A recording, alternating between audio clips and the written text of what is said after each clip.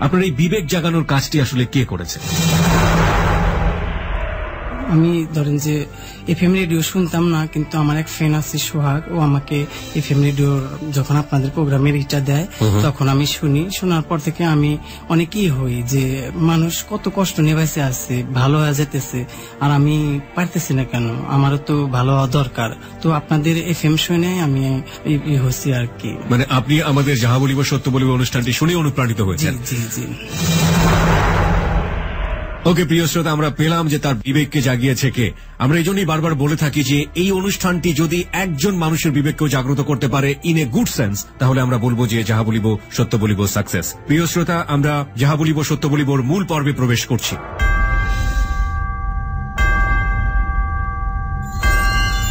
ওকে মতিন, আমরা ব্যাকগ্রাউন্ড থেকে শুরু করতে চাই। শুরু করুন। ছোটবেলা থেকে আমার কণ্ঠটা মেয়েদের মতো ছিল আমরা এখনও কিছুটা হলো হ্যাঁ এখনও আছে। আগে অনেক বেশি ছিল। বন্ধুরা যারা আমরা খেলতাম তারা ওই মানে শুটিং এর মতো করতাম। ওখানে আমাকে নায়িকা বানাইতো। আচ্ছা। তখন আমার না একটু খারাপ লাগতো যে আমি তো নিজের থা হইনি এটা আল্লাহর সৃষ্টি করছে। আল্লাহ আমাকে বানাইছে। তো তখন আমি স্কুলে যাই কিন্তু আমার না ভালো লাগে না পড়ালেখা করতে। ওই স্কুলে গেলেও অনেকেই না আমাকে আমার কণ্ঠ নিয়ে আমার চলাফেরা নিয়ে আমাকে না ই করতো ধিক্কার দিত পরে আমি মাকে বলতাম যে আমি স্কুলে যাব না। আমি বলতাম যে সবাই আমাকে নিয়ে এরকম করে। তো তখন মা বলতো যে বাবা সমস্যা নাই যাও ঠিক হয়ে যাবে। এগুলা বন্ধু বান্ধব বলবেই এরকম করতে করতে আমি প্রায় ক্লাস ফাইভ পর্যন্ত আমি পড়ালেখা করি। আচ্ছা। তো এরকম করার পরে মা পরে আমাকে কি বলল যে তাহলে ঠিক আছে তুমি ভর্তি হও। হুম, হুম, হুম। ওখানে ভর্তি করে দেওয়ার পরে আমি কিছুদিন ওখানে যাওয়ার পরে ওখানে দেখা যায় যে আমাদের ওই গ্রুপ করে করে দেওয়া হয় পড়ার জন্য। দুই পাঁচ ছয় জন মিলে একটা করে গ্রুপ করা হয়। তো আমি দেখা যায় আমি একটু জাস্ট এখানে ইন্টারাপ্ট করছি আপনাকে। সেটা হচ্ছে কয় ভাই বোন ছিলেন আপনারা? আমরা তিন ভাই তিন বোন ছিলাম। তিন ভাই তিন বোন। আপনি কি সবার বড় ছিলেন? না ভাই আমি সবার ছোট। সবার ছোট। আপনার বাকি ভাই বোনের মধ্যে কি আপনার মতো এই ধরনের কোন অ্যাটিটিউড ছিল? এটা কিউর বলতে না আমি ছিল না। ভিতরে ছিল না শুধু আমি। শুধু আপনার মধ্যেই ছিল। তারপর? গ্রুপ করে পড়তেছি তো এমনি করতে করতে দেখা যায় যে যাদের সাথে আমি পড়তাম, তারাও আমাকে মানে এরকম আবার শুরু করে যে আমি, আমার কণ্ঠ এরকম, তারপরে আমি চলাফেরা মেয়েদের মতো, তখন আমার খুব কষ্ট লাগে, কীভাবে কি করব? ওখানে দেখা যায় যে আমি একটা বন্ধু, আমার, ওনার নাম সাজ্জাদ ছিল আমি জানি না এখন কোথায় আছে, তো ওর সাথে আমার ভালো একটা রিলেশন হয়। হওয়ার পরেও আমাকে বলে যে মতিন তাহলে আমার সাথে আমাদের বাড়িতে যেতে হবে। তো আমি তখন প্রথম বলি যে ঠিক আছে আমি তোমাকে চিনি না জানি না ঠিক আছে যাব। কিন্তু আমাদের বাড়িতে আগে যাওয়া লাগবে। ওকে যেখানে পড়ছেন সেখানকারই বন্ধু সেখানকার বন্ধু। ওনারা ওনা ওখানে বোর্ডিং এ থেকে পড়তেছে। তো ও আমাকে একদিন বলে যে তুমি আজকে আমাদের এদিকে আসবা কখন? তো বলতে যে সন্ধ্যার দিকে আসো। যেহেতু বন্ধু ওনার বয়স আমার আপনার বড় ছিল? বড় ছিল কত বছরের আনুমানিক? চার পাঁচ বছরের বড় ছিল। যাই, যাওয়ার পরে ও আমাকে প্রথমে আমাকে বলে, চলো গল্প করি। তো ওর সাথে গেলাম। যাওয়ার পরে আমাকে বলল যে, ও আমার গায়ে হাত দিত। কি ব্যাপার, তুমি এরকম করো কেন? তো আমার অনেক বড় ছিল তো, তাও আমি তুমি আমি করে কথা বলতাম। তো আমাকে বলতো যে সমস্যা কি? কোনো কিছু না। এই বন্ধু তো আমরা। এরকম বলতো। যে, বন্ধু তো এরকম, তুমি এরকম করো কেন? তো তখন আমি ওর সাথে আমার মানে বন্ধুত্ব আমি ব্রেকআপ করে ফেলাই। যে আমার সাথে কালকে থেকে তুমি কথা বলবে না তুমি আমার আমার সামনেও যদি পড়ো তুমি এক সাইড দিয়ে যাবে আমি এক সাইড দিয়ে যাব। আপনারা কি একই জায়গায় পড়াশোনা করতেন? একই জায়গায় একই গ্রুপে ছিলাম। তারপর আমি দেখা যায় বাড়িতে আসি অনেক মন খারাপ হয়। তো তখন আমি আবার মানে বাড়িতে এসে কাউকে কিছু না বললে আমি আর যাওয়ার জন্য আমি ই হই না। দেখুন আপনার কাছে ওর আচরণটা ভালো লাগেনি কোনো না সাধারণ কোনো আচরণ ছিল না তাই তো? এবং যে কারণে আপনি তাকে বললেন যে তুমি যোগাযোগ করবে না আজকের পর থেকে আমার সাথে। ওকে কাউকে আমি বলতে পারতাম না যে কি বলব? কাকে কি বলার আছে? তো তখন আমি মাকে বলি যে আমি যাব না। মা বলে যে বাজান যাও। এটা নিলে তুমি একটা কিছু পড়াতে পারবা ছাত্র পড়াতে পারবা থাকতে পারবা। আমি যা বন্ধ করে দিই। আবার মাঝে মধ্যে আমাকে আমার মা অনেক শাসন করতো আমার মা অনেক রাগি অনেক জেদ। পড়ালেখার জন্য শুধু মা হয়তো বুঝতে পারছে যে এখন যেগুলো ধিকারগুলা পাইতেছে বড় হলে বুঝব। ওই মা জোর করে মাইরা মাইরা পাঠাইতো দেখা অনেক মারতো।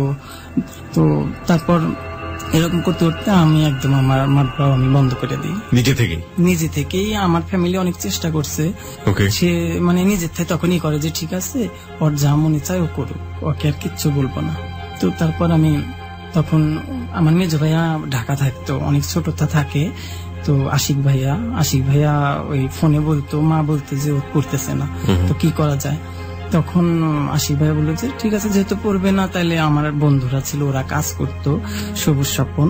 ও বলতেছে তাহলে ওদের সাথে কাজ করুক আচ্ছা। তো আমি না আমাকে যখন কাজের কথা বলছে তখন আমার ভালো লাগছে যে ঠিক আছে সবাই বন্ধুরা আমাকে লেই করতো কাজে যাই। এখানে হয়তো একটু কি হবে জানি না কিন্তু যাই দেখি। তখন আমার ভালো লাগে যে যেহেতু কাজের কথা বলছে যাই। কি কাজ? মানে কি ধরনের কাজ করেন কাজ আমাদের ওখানে শিল্প এলাকা ওই শাড়ি লুঙ্গি ওই সুতার যে একটাই হয় ওইগুলো আমরা বানাইতাম। আচ্ছা আচ্ছা। ওটা মিলে আমরা বানাইতাম। ওকে ওগুলা পোলাপান করে আবার মেয়েরাও করে। আচ্ছা। আর তাঁত শাড়ির লুঙ্গির যে কাজগুলো এগুলো বড় বড় মানুষ করে। ওকে তখন দেখা যায় যে সবুজ স্বপনদের সাথে আমি প্রথমে প্রায় এক সপ্তাহের মতো ওদের সাথে শিখি। শেখার পরে আমার শিখতে শিখতে আমাদের পাশের কয়েকটা গ্রাম পরে একটা ছেলে ওর নাম জাহিদুল। ওর সাথে আমার পরিচয় হয়। হওয়ার পরে ও না আমার দেখা আমি যে সুতার কাজগুলো করতাম ওই কাজগুলা দেখা যায় যে আমি আমার নতুন তো এক সপ্তাহ হয়েছে আমি পারতাম না ও এসে আমার কাজটা করে দিত। করে দিত আমি তখন ভাবতাম যে ছেলেটা মনে অনেক ভালো। আমার আমার কাজে সহযোগিতা করতেছে আমাকে হেল্প করতেছে তো মনে হয় যে অনেক ভালো। তো তার সাথে আমার ধীরে ধীরে বন্ধুত্ব হয়। এত ভালো লাগে যে মানে আমি বলি কি যে মানে কাজের দিক দিকে না মানে ও যে ব্যবহার করতো আমার কাছে মানে সবাই আমাকে যে যে আগের মতো আবার অনেকে ই করে শুরু করছে যে আমার চলাফেরা এরকম আমার কণ্ঠ এরকম কিন্তু ও করে না। ওকে তখন আমি ওকে নিয়েই ভাবি যে ও সবার চাইতে আলাদা। আলাদা রাইট হ্যাঁ ও আমাকে একদিনও ভুলেও কোনোদিন আমাকে আমার কণ্ঠ নিয়ে আমার চলাফেরা নিয়ে কোনো কিছু বলে নাই। কোনো বাজে মন্তব্য করেনি। তাইলে ও মনে হয় জন্মটা অনেক ভালো। তো তখন আমি ওকে বলি যে তুমি আমাদের বাড়িতে যাবা আমি তোমার সাথে এই করব। মানে আমাদের ওখানে আছে যে দোস্ত পাতা হয়। হ্যাঁ ওইটা। দোস্ত হ্যাঁ দোস্ত। তো তখন বলে যে ঠিক আছে যাব। তো আমাদের আবার বৃহস্পতিবারে আমাদের বিল দেওয়া হইতো। তখন বলে যে বৃহস্পতিবারে আমরা টাকাটা পাই শুক্রবার দিন যাব। আচ্ছা। তো এরকম করতে করতে আমার প্রতিবেশী এক চাচাতো ভাই আর তারপরে আর একটা চাচাতো ভাই তিন চারজন ওরা আমরা মানে আশেপাশের পাঁচ সাতজন ছিলাম। একই গ্রামে আর আশেপাশের গ্রামের কয়েকজন ছিল প্রায় পনেরো ষোলো জন পোলাপন ছিলাম আমরা। তো তখন ওই না ওই জাহিদুলকে একদিন বলে যে ওর নাম আমি বলতেছি না। ও আমাকে বলে যে ওর সাথে আমার খারাপ সম্পর্কর কথা বলে যে আমার সাথে বলে তার এরকম কোনো সম্পর্ক আছে। ও আমাকে না ডাইরেক্ট বলে জাহিদুল যে ওর সাথে কি তোমার এরকম সম্পর্কে আছে? আমি বলছি যে না তুমি কার কাছ থেকে শুনছো যে এরকম সম্পর্ক? বলে যে ওই আমাকে বলছে। তো আমি বলি যে না এগুলো মিথ্যা। তো তখন তাই ও আমার সাথে কথা বলা বন্ধ করে দেয়। আমি একটু জাস্ট আপনাকে থামাচ্ছি। একটা হচ্ছে যে আপনার দোস্ত যার সাথে পাতার কথা সেই ব্যক্তির নাম হচ্ছে জাহিদুল। জাহিদুলের কাছে কোন একজন কনস্পিরেসি করেছে আপনার নামে যে আপনার সঙ্গে তার একটা খারাপ সম্পর্ক আছে। এবং সে আলটিমেটলি কি ছিল আপনার? আমার চাচাতো ভাই ছিল চাচাতো ভাই। প্রতিবেশী চাচাতো। ভাই ছিল। এই ধরনের কনস্পিরেসি করার কারণটা কি? আপনার কি কারণটা আমি পরে বুঝতে পারছি। আমি বলতেছি আপনাকে। হ্যাঁ। হ্যাঁ তখন আমি ও আমার সাথে কথা বলে না আমার ভালো লাগে না যে সবার সাথে ও আলাদা ও কথা বলে না কেন? সবাই না বললে ও যদি আমার সাথে দুই চারটা কথা বলে আমার ভালো লাগবে। যেহেতু সবার সাথে ও আলাদা। কথা বলে না তখন আমার খুব খারাপ লাগে। তখন ও মানে আমি দেখা যায় যে আমার সাথে তো কথা বলা দূরে কথা। আমি গেলেই ও আমার পাশ কেটে চলে যায়। তখন আমার আরও খারাপ লাগে যে এরকম কেন করে? একটা মিথ্যা কি? মানে কি খারাপ বলছে যে আমার সাথে কথাই বলা যাবে না? তো এরকম করার পরে আমি একদিন যে আমাকে নিয়ে খারাপ মন্তব্য বলছে ওর কাছে। আমি ওর কাছে বলি যে, তুমি ওকে কি বলছো? ও আমার সাথে কথা বলে না। আর তুমি আমাদের প্রতিবেশী চাচাতো ভাই হইলেও ও অন্য গ্রামে ছিল হলেও অন্য সবার সাথে আলাদা। ও অনেক ভালো। আর তোমরা কি বলছো যে, এরকম? তখন বলে যে, ঠিক আছে, ওর সাথে তোমার মিল করে দিব। ওদের বাড়িতে যাওয়া লাগবে। আমি করি যে, ঠিক আছে। আমি আবার চাইছি যে, ও যেহেতু ভালো মানুষ, ওর জন্য মিল করার জন্য ওদের বাড়িতে যাব সমস্যা কি যাব। তখন আমি ওই ওর সাথে যাই। যাওয়ার পরে ওদের বাড়িতে যেতে হবে মানে হচ্ছে কি? যে যে কনস্পিরেসি হ্যাঁ। জাহিদুলদের বাড়িতে যেতে হবে নাকি যে আপনার এগেনস্টে বলেছে তার বাড়িতে যেতে হবে? না সে আমাকে নিয়ে যাবে। আমি ওকে বলছি যে তুমি কেন বললা ওর কাছে? হ্যাঁ, হ্যাঁ। তুমি আমাকে নিয়ে খারাপ মন্তব্য ওর কাছে কেন করলে? ও তো অনেক ভালো ছেলে। ওর সাথে আমার ভালো বন্ধুত্ব হয়েছে। হ্যাঁ। তো ও বলে যে ঠিক আছে যেহেতু ও ওরকম আমাকে বলতেছে বলতে ঠিক আছে তাহলে যেহেতু হয়েছে এটা তাহলে আমি ওর সাথে মিল করে দিব। কিন্তু আমার সাথে ওদের বাড়িতে যাওয়া লাগবে ওই জাহিদুলদের বাড়িতে। মানে ওকে নিয়েও জাহিদুলদের বাড়িতে যেতে হবে? হ্যাঁ ও যাবে আমার সাথে হ্যাঁ। ওকে তখন ওই- ওকে বললাম যে ঠিক আছে যাব আমি রাজি হয়েছি কারণ ও অনেক ভালো ছেলে। আমি গেছি ওদের বাড়িতে যাওয়ার পরে ও দেখি যে বোট খেলতেছে ক্যারাম বোর্ড চেনেন খুব ভালো করে চিনি। রাত্রে ওগুলা খেলতেছে তো পরে রায়হান ওকে ডাকলো ডাকার পর বলল যে জাহিদুল মতিন এসে তো আমার নাম শুনে ও না আসে নাই। ও খেলা বাদ দিয়ে চলে গেছে। চলে যাওয়ার পরে বলতেছে যে ওকে বলো যে আমি ওর সাথে কথা বলব না। তো আমাকে এসে বলল আমি বললাম যে আমি এক মিনিট ওর সাথে কথা বলব। যে মানে আমি চাইছি যে ওর হাত ধরে আমি ক্ষমা চাবো। যে তুমি আমাকে ক্ষমা করে দিও আমি আর কালকে তোমার সাথে কথা বলব না। কিন্তু ওর কাছে একবার ক্ষমা চাবো সরাসরি। ক্ষমাটা কেন? ক্ষমাটা কেন বলতে যে তুমি এত ভালো ই করছ আমার সাথে এমন করবে না আমার সাথে সম্পর্ক কেন? অর্থে আমার থেকে আমি ভুল করলেও করছি না করলেও করছি আমি ওর কাছে ক্ষমা চাই আমি কালকে তোর সাথে কথা বলব না। তো তারপরে ও আসে আসার পরে আমি ওর হাত ধরি ধরে আমি ক্ষমা চাওয়ার আগেও আমার হাত মানে ই করে ছাইরা চলে যায়। চলে যাওয়ার পরে আমি অনেক ওখানে কান্না করি। কান্না করার পরে যে ছেলেটার সাথে আমি গেছি রাহান নাম ওনাকে আমি বলি যে ঠিক আছে কি করব এখন? ও বলতেছে যে ঠিক আছে চলো যাই। তো বর্ষা ছিল তো নৌকায় করে আসতে হইতো যেতে হইতো। আসার পরে দেখা যায় যে রাত্রে গেছি তো প্রায় সাড়ে আটটা নয়টা মনে হয় বাজছে। তখন ওর সাথে দেখা করে আসার। তো ও আমাকে সরিষা খেচ্ছেন সরিষা। তখন ও ওখানে গেল যার পরে আমাকে অনেক বয়স ছিল অনেকই আমাদের প্রতিবেশী চাচাতো অনেক বড়। তো আমাকে ওখানে মানে রাস্তা ছেড়ে পাশে নিয়ে গেল। নিয়ে যা বলতেছে যে, ঠিক আছে, যা হয়েছে হয়েছে, কান্না করার কিছু নাই। যেভাবে আমি যেহেতু তোমাদের সম্পর্ক ভেঙে দিছি, আমি আবার ঘরে দিব। তো তখন বললাম যে, দেখো, তুমি কি করছ যে, ও আমার সাথে খুব, আমার খুব খারাপ লাগতেছে। তুমি যেভাবে ওর সাথে আমার সম্পর্কটা আবার তুমি ভালো করে দিবা। তো বলে, ঠিক আছে। তো তখন পাশে যায়, যাওয়ার পরে ও আমাকে, আমার শরীরে হাত দেয়।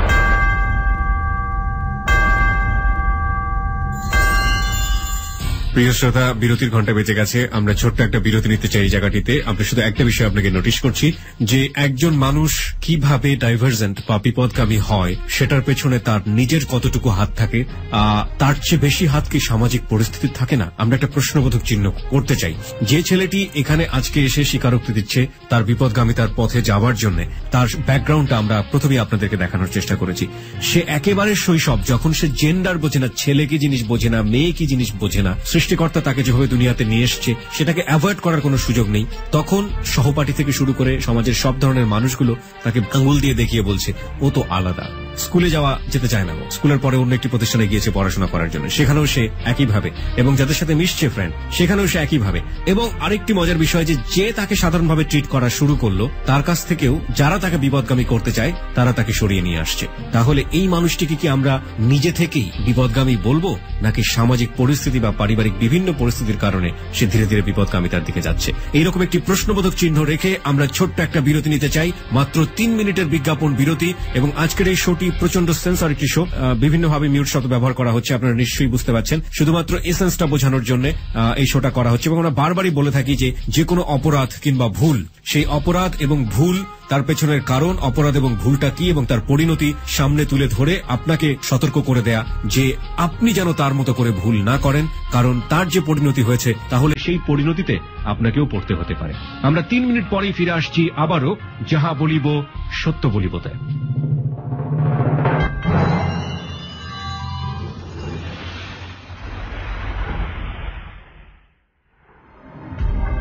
তিন মিনিটের বিজ্ঞাপন বিরতির পর আমরা আবারও ফিরে এসেছি, যাহা বলিব সত্য বলিবতে। আপনি শুনছেন এবিসি রেডিও এফ এম উননব্বই দশমিক দুই। আমি আর জে কিবরিয়া আপনার সঙ্গে এবং আমার সঙ্গে রয়েছে আমার টিম মেম্বাররা আর জে সুমন ও সাউন্ড এডিটর মঞ্জু। আমরা আজকে এখানে পেয়েছি আমাদের অতিথি মতিনকে। মতিনের জীবনের অপ্রিয় সত্যগুলো আমরা এখানে আবিষ্কার করছি এবং আপনাকে বলছি যে মতিনকে নিয়ে একটি ছবি চলছে আমাদের ফেসবুকে আপনারা চলে আসতে পারেন। ওখানে লিঙ্ক দেওয়া আছে আরও একটি পেজের সেখানে গিয়ে মতিনকে আপনারা দেখতেও পারেন। আমাদের ফেসবুকের ঠিকানা W www.facebook.com slash abc radio fm 89.2 যে পেজটি শুধুমাত্র ফেসবুক থেকে ভেরিফাইড করা সেই পেজটি হচ্ছে আমাদের এবিসি রেডিওর পেজ ওখানে গেলে আপনি একটি লিঙ্ক দেখতে পাবেন সেখানে গিয়ে আপনি মতিনের ছবি দেখতে পাবেন। ওকে মতিন আপনার কাছে ফিরি। চাচাতো ভাই হ্যাঁ।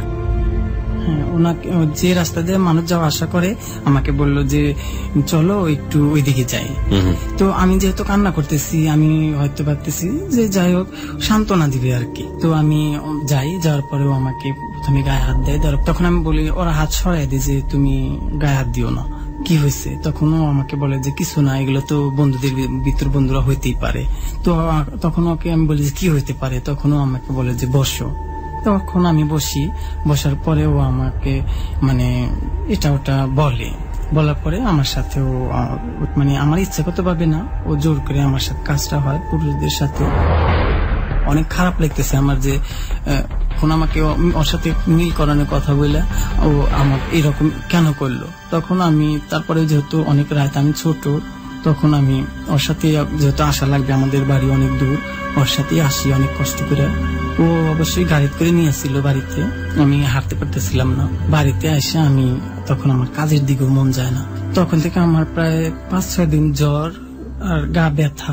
আপনি কি কাউকে এটা শেয়ার করেননি যে আপনার সঙ্গে ধরনের ঘটনা ঘটলো? শেয়ার করা বলতে আমি কার কার কাছে শেয়ার করব? এগুলো কার কাছে শেয়ার করব? আমি যখন আমার স্কুলে যেগুলো হইতো যে আমার কণ্ঠ নিয়ে তো ওগুলো আমার মায়ের কাছে শেয়ার করতাম। কিন্তু এগুলো নিয়ে আমি কার কাছে শেয়ার করব? আমি পারতেছি না মানে কাউকে বলতে পারতেছি না এগুলো। তো আমি নিজের থেকে নিজে নিজে অনেক কষ্ট পেতেছি যে ঠিক আছে আমি কাজও করব না আমি বাড়িতে থাকব. বাড়িতে আমাকে মা জুতিল মারে, ভাইয়া জুতিল আমাকে বাইথান তারাইও দেয়, সব ঠিক আছে, আমি তাও যাব, কিন্তু আমি কাজে যাব না। তখন আমি ওখানে কাজে যাওয়া বন্ধ করে দিতে চাই। তখন বাড়ি থেকে আমাকে বলে যে তুমি করবা না কাজ করবা না তো করবা কি? তখন আমি বলতাম যে আমি এখানে থাকব না আমি ঢাকা যাব। ঢাকাতে দেখি ভালো করে বাসা যায় কিনা। তো এর ভিতরে মেজো ভাইয়াকে ফোন করি। মেজো ভাইয়া বলে যে ঠিক আছে যে ছোট মানুষ যেহেতু তোমাকে কোথায় দেওয়া যায় ওইভাবে একটাই করে তোমাকে আনব। প্রায় অনেক মানুষের সাথে আমার এরকম সম্পর্ক হইতে লাগে। দেখা যায় আমি চলতেছি আমার যে ফ্রেন্ড সার্কেল যারা আছে তাদের সাথে চলতেছি। তাদের ভিতরে আবার দেখা যায় অনেক মানুষ আমাকে বলতে এই ছেলে এদিকে আসো। তো যাইতাম যাওয়ার পরে বলে যে বাড়ি কোথায়? বলতাম অমুক জায়গায় আব্বার নাম বলতাম। বলার পরে বলতো যে মানে তখন আমি আমার চুলগুলো বড় করে রাখতাম আর আমি সবসময় শর্ট কাপড় চোপড় পরতে ই করতাম আর কি। আবার চেন পরতাম ঘড়ি রাখতাম এরকম। তখন দেখা যায় আমাকে ডাকতো ডাকে বলতো যে ঠিক আছে তোমার সাথে কথা বলি। আচ্ছা বলেন তাহলে ওদের যাইতে বলো। মানে এরকম অপরিচিত একজন লোক। তখন আমি বলতাম যে ঠিক আছে আমি আবারই করতাম যে কি বলবে? এগুলো কি আপনার বাড়িতেই? বাড়িতে থাকা অবস্থায়? আমার বাড়িতে থাকা অবস্থায়। তো তখন আমি আমার না একটু একটাই খারাপ লাগতো। তখন এক কেউ যদি এরকম বলতো তখন আমার ওই রাহানি কথা মনে হতো। যে ও যে এরকম এই কাজগুলো করছে ইনারা যদি এরকম করে তখন না আমি বলতাম যে না আমি পারব না। তারপর বলতে না সমস্যা নাই আমি মানে দেখা যেত যে অনেক আমার বাবার চাইতে বড় তারপর আমার ভাইদের চাইতে বড়। আপনার এলাকাতে এসব? এলাকাতে আমাদের গ্রামের আশেপাশে যে গ্রামগুলো আছে ওখানে ওই লোকগুলা। তো দেখা যায় যে আমি চিনতাম না। ওনারা আমার পরিচয় নিত আমি অতটুকু তাদের কিছু বলতাম না। দেখা যায় যে অনেক বয়স্ক আমাকে একদিন একজন বলে যে ঠিক আছে কথা যেহেতু বলবা না তাহলে আমি অমুক বাড়িতে কাজ করি তো ওই বাড়িতে আসবা। তখন আমি যাই যাওয়ার পরে ওনা আমাকে বলে যে সিনেমা দেখতে যাবে। তখন আমি বলি যে ঠিক আছে যাব। তখন ওনার সাথে যাই যা আমি আবার অনেক সিনেমা দেখতে আগে খুব পছন্দ করতাম। সিনেমা দেখি দেখার পরে আসার পথে ওনা আমাকে অনেক যেগুলা গাড়ির রাস্তা আমাকে গাড়ির রাস্তা করে নিয়েছে কিন্তু বাড়ি আমাদের বাড়ি পাওয়ার প্রায় অনেকখানি আগে গাড়ির রাস্তা মানে ওখানে কাঁচা রাস্তা ওখানে গাড়ি চলে না। Okay. তখন আমাকে বলে যে ঠিক আছে চলো আমরা হাইটে যাই। বললাম যে ঠিক আছে। তে ওনা আমাকে রাস্তা দিয়ে না নিয়ে চকে যে যে ক্ষেত বলে যে ওই ওখান নিয়ে যায়। নিয়ে যাওয়ার পরে আমি যাই যেহেতু সন্ধ্যা হইতেছে সমস্যা নাই আমার বাড়ির আশেপাশে তো যাওয়ার পরে ওনা এক জায়গায় বসে বসার পরে বলে যে ঠিক আছে তোমাকে না আমার অনেক ভালো লাগে। এরকম বলে মানসিক মানুষ ভালো লাগতেই পারে আমি এগুলা বলি। বলে যে না তারপরেও মানে তোমাকে অন্যরকম ভালো লাগে। আমি হাসি ওনার ছেলেও আবার আমার চেয়ে বড়। তখন ওনা আমাকে প্রথমে আমার তো আমি অবাক হয়ে যাই যে কি ব্যাপার? এই পাগল নাকি? এরকম পুরুষ মানুষ আর একটা ছেলে মানুষের এরকম দেখি নাই। তো তখন ওনা আমাকে ওই রায়হান ওদের মতোই আবার গায়ে হাত দেয়। দেওয়ার পরে ওনা, আমি তখন বলি যে, দেখেন, সন্ধ্যা হইতেছে, আশেপাশে মানুষ। মানে মানুষ বোঝা যাইতেছে, আবার সন্ধ্যা হইতেছে তো বোঝা যাইতেছে না এরকম। তখন ওনা আমাকে জোর করে আমার তখন আমি আরও কষ্ট পাই যে এনাকে আমি প্রথম কালকে পরিচয়, আমাকে বলল সিনেমা দেখতে যাব আমি ওনাকে গেছি যে আমার বলে ভালো লাগছে, এরকম হ্যান ত্যান, অনেক কিছু বলছে। তো এগুলা কি? তো তারপর আমি ওনার সাথে আর কথাই বলি না। ওনার সাথে ওই কাজ হওয়ার পর আমি কোনো কথাই বলি না। আমি ওনাকে বলি যে, আপনি এখান থেকে যান। আমি কানতেছি জোরে চিৎকার করতেছি না। লোকজন আসলে বলবে যে, কি ব্যাপার? কি হয়েছে? হয়তো আমার গ্রামের পাশে আমার হয়তো সবাই চিনবে যে অমুকের ছেলে। তখন আমি এগুলো না ভেবে আমি জোরে চিৎকার না করে আমার মতো যে সহ্য করার মতো সহ্য করে আমি ওনাকে বলি যে আপনি চলে যান আপনি আমার সাথে আর কথা বলবেন না। তখন না ওখান ওখান থেকে চলে যায় আমি আমার বাড়িতে চলে আসি। আসার পরে ওখানেও আমি প্রায় পাঁচ ছয় দিন আবার অসুস্থ হয়ে পড়ি। আমি বাড়িতে মানে কাউকে এগুলো বলতে পারতেছি না আমার সাথে যে ওরা ছিল। ওদের আমি বলতে পারতেছি না যে আমার সাথে ওরা এইরকম কাজ করতেছে। মানে বলার মতো আমার কোনো ই নাই। এগুলো কাক বলব? বলে তো মানুষ সিসি করব খারাপ ভাববো। এই- ও এইরকম। তো তখন দেখা যায় যে এরকম করতে করতে প্রায় কয়েকজন এরকম আমি আবার যেহেতু সিনেমা দেখতে পছন্দ করতাম, আমাকে আমি কাজে যাই না, আমি সিনেমা, আমি রঙিন টেলিভিশন আর সিডি কেনার জন্য জেদ করি যে আমাকে কিনে দিতে হবে।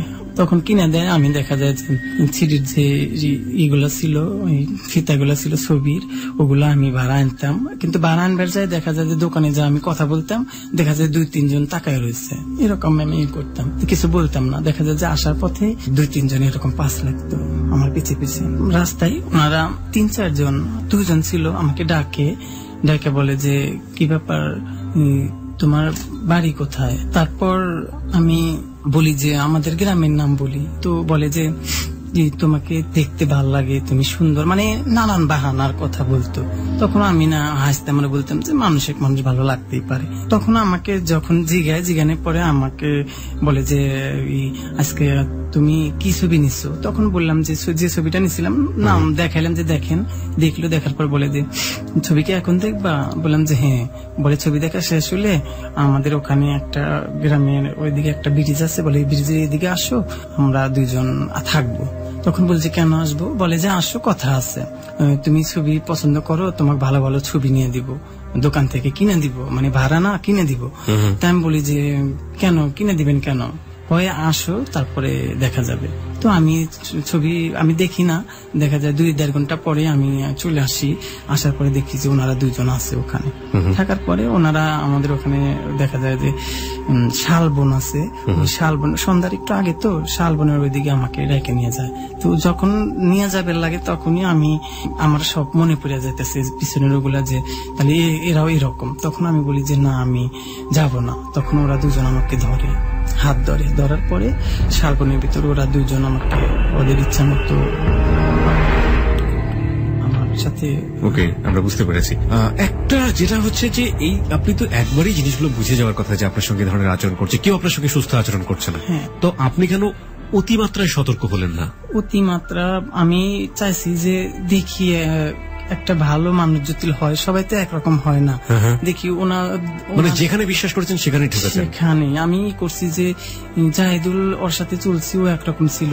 আর একজন ওনার সাথে একা দেখি তারপরে এরা দুজন একজন তো ভালো হবে।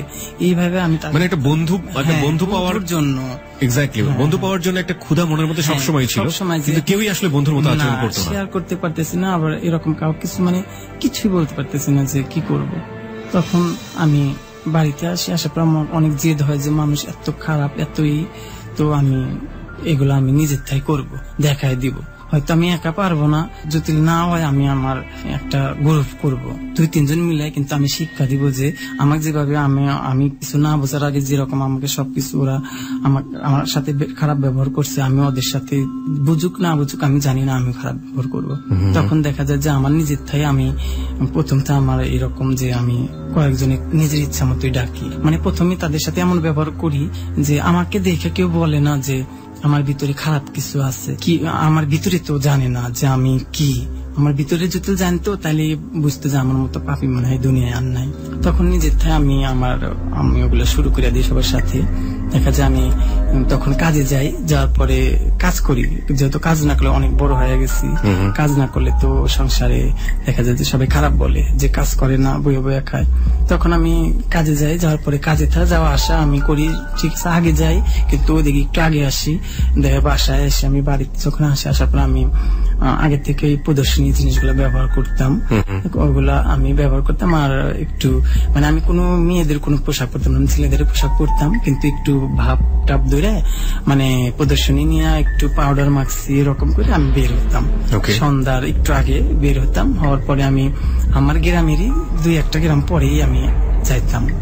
যাওয়ার পরে আমি দেখতাম যে আমি রাস্তাতে দুই- দুই চারজন মেয়ে যাইতো আমার তাদের প্রতি কোনো আমি খারাপ নজরে আজ পর্যন্ত তাকাই নাই।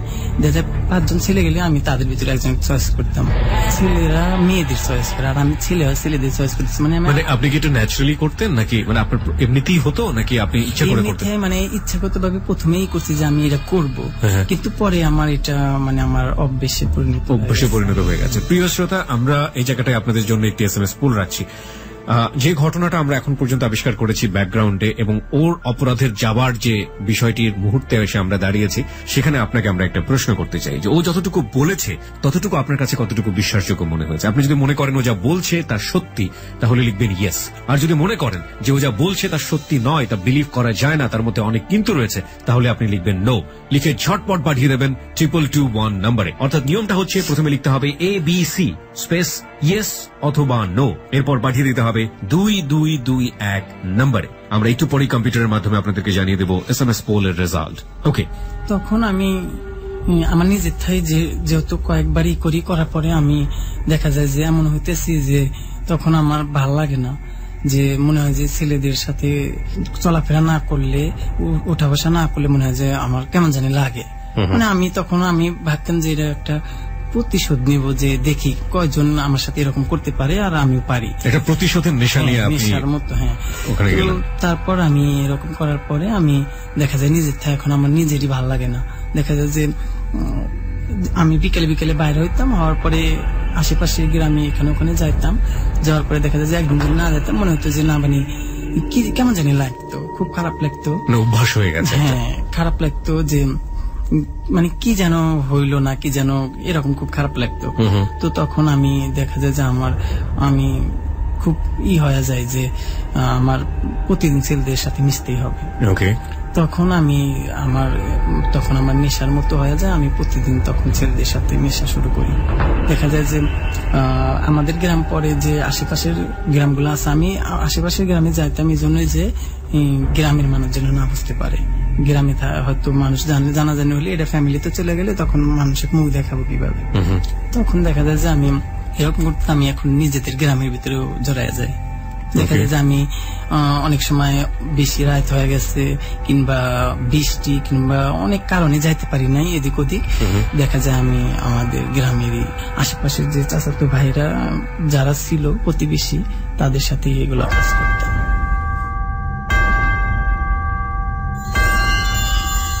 প্রিয় শ্রোতা, একটা বিরতির ঘণ্টা বেজে গেছে। আমরা এই জায়গাটিতে ছোট্ট একটা বিরতি নিতে চাই। একটু পরে ফিরে আসব ঠিক বারোটায় ছয় মিনিটে। আজকে যার জীবনের অপ্রিয় সত্যগুলো এখানে ফুটে উঠছে, তিনি হচ্ছেন মতিন। এবং মতিনের জীবনের অপ্রিয় সত্যের শেষ পরিণতি কি এবং কতটা ভয়াবহ হতে পারে? আজকে সেটা দেখিয়ে আমরা মতিনের মতো যারা ভিকটিম রয়েছেন এবং একই সাথে মতিনের সাথে যারা ধরনের ব্যবহার করেন, তাদেরও ভবিষ্যৎ কি হতে পারে? সেটা জানিয়ে আপনাকে সতর্ক করার চেষ্টা করছি। এবং আমরা সেটা শেষ পর্যন্ত আপনি যদি আমাদের অনুষ্ঠানে থাকেন তাহলে বুঝতে পারবেন যে এইসব ঘটনার, এইসব পাপ এবং এইসব লিপসা এবং এইসব জঘন্য কাজের পরিণতি শেষ পর্যন্ত কি হতে পারে। আমরা ফিরে আসছি ঠিক রাত বারোটা ছয় মিনিটে। আপনারা শুনছেন যাহা বলিব, সত্য বলিব ABC radio F M eighty nine point two তে। আশা করছি সাথেই থাকবেন। আর মতিনকে দেখার জন্য চলে আসতে পারেন আমাদের ফেসবুকে আমাদের ফেসবুকের ঠিকানা W W W dot Facebook dot com slash ABC radio F M eighty nine point two Facebook verified page কেবলমাত্র যেটি দেখবেন এবিসি রেডিও সেটাই হচ্ছে আমাদের পেজ আমরা ফিরে আসছি ঠিক রাত বারোটা ছয় মিনিটে। যাহা বলিব, সত্য বলিব।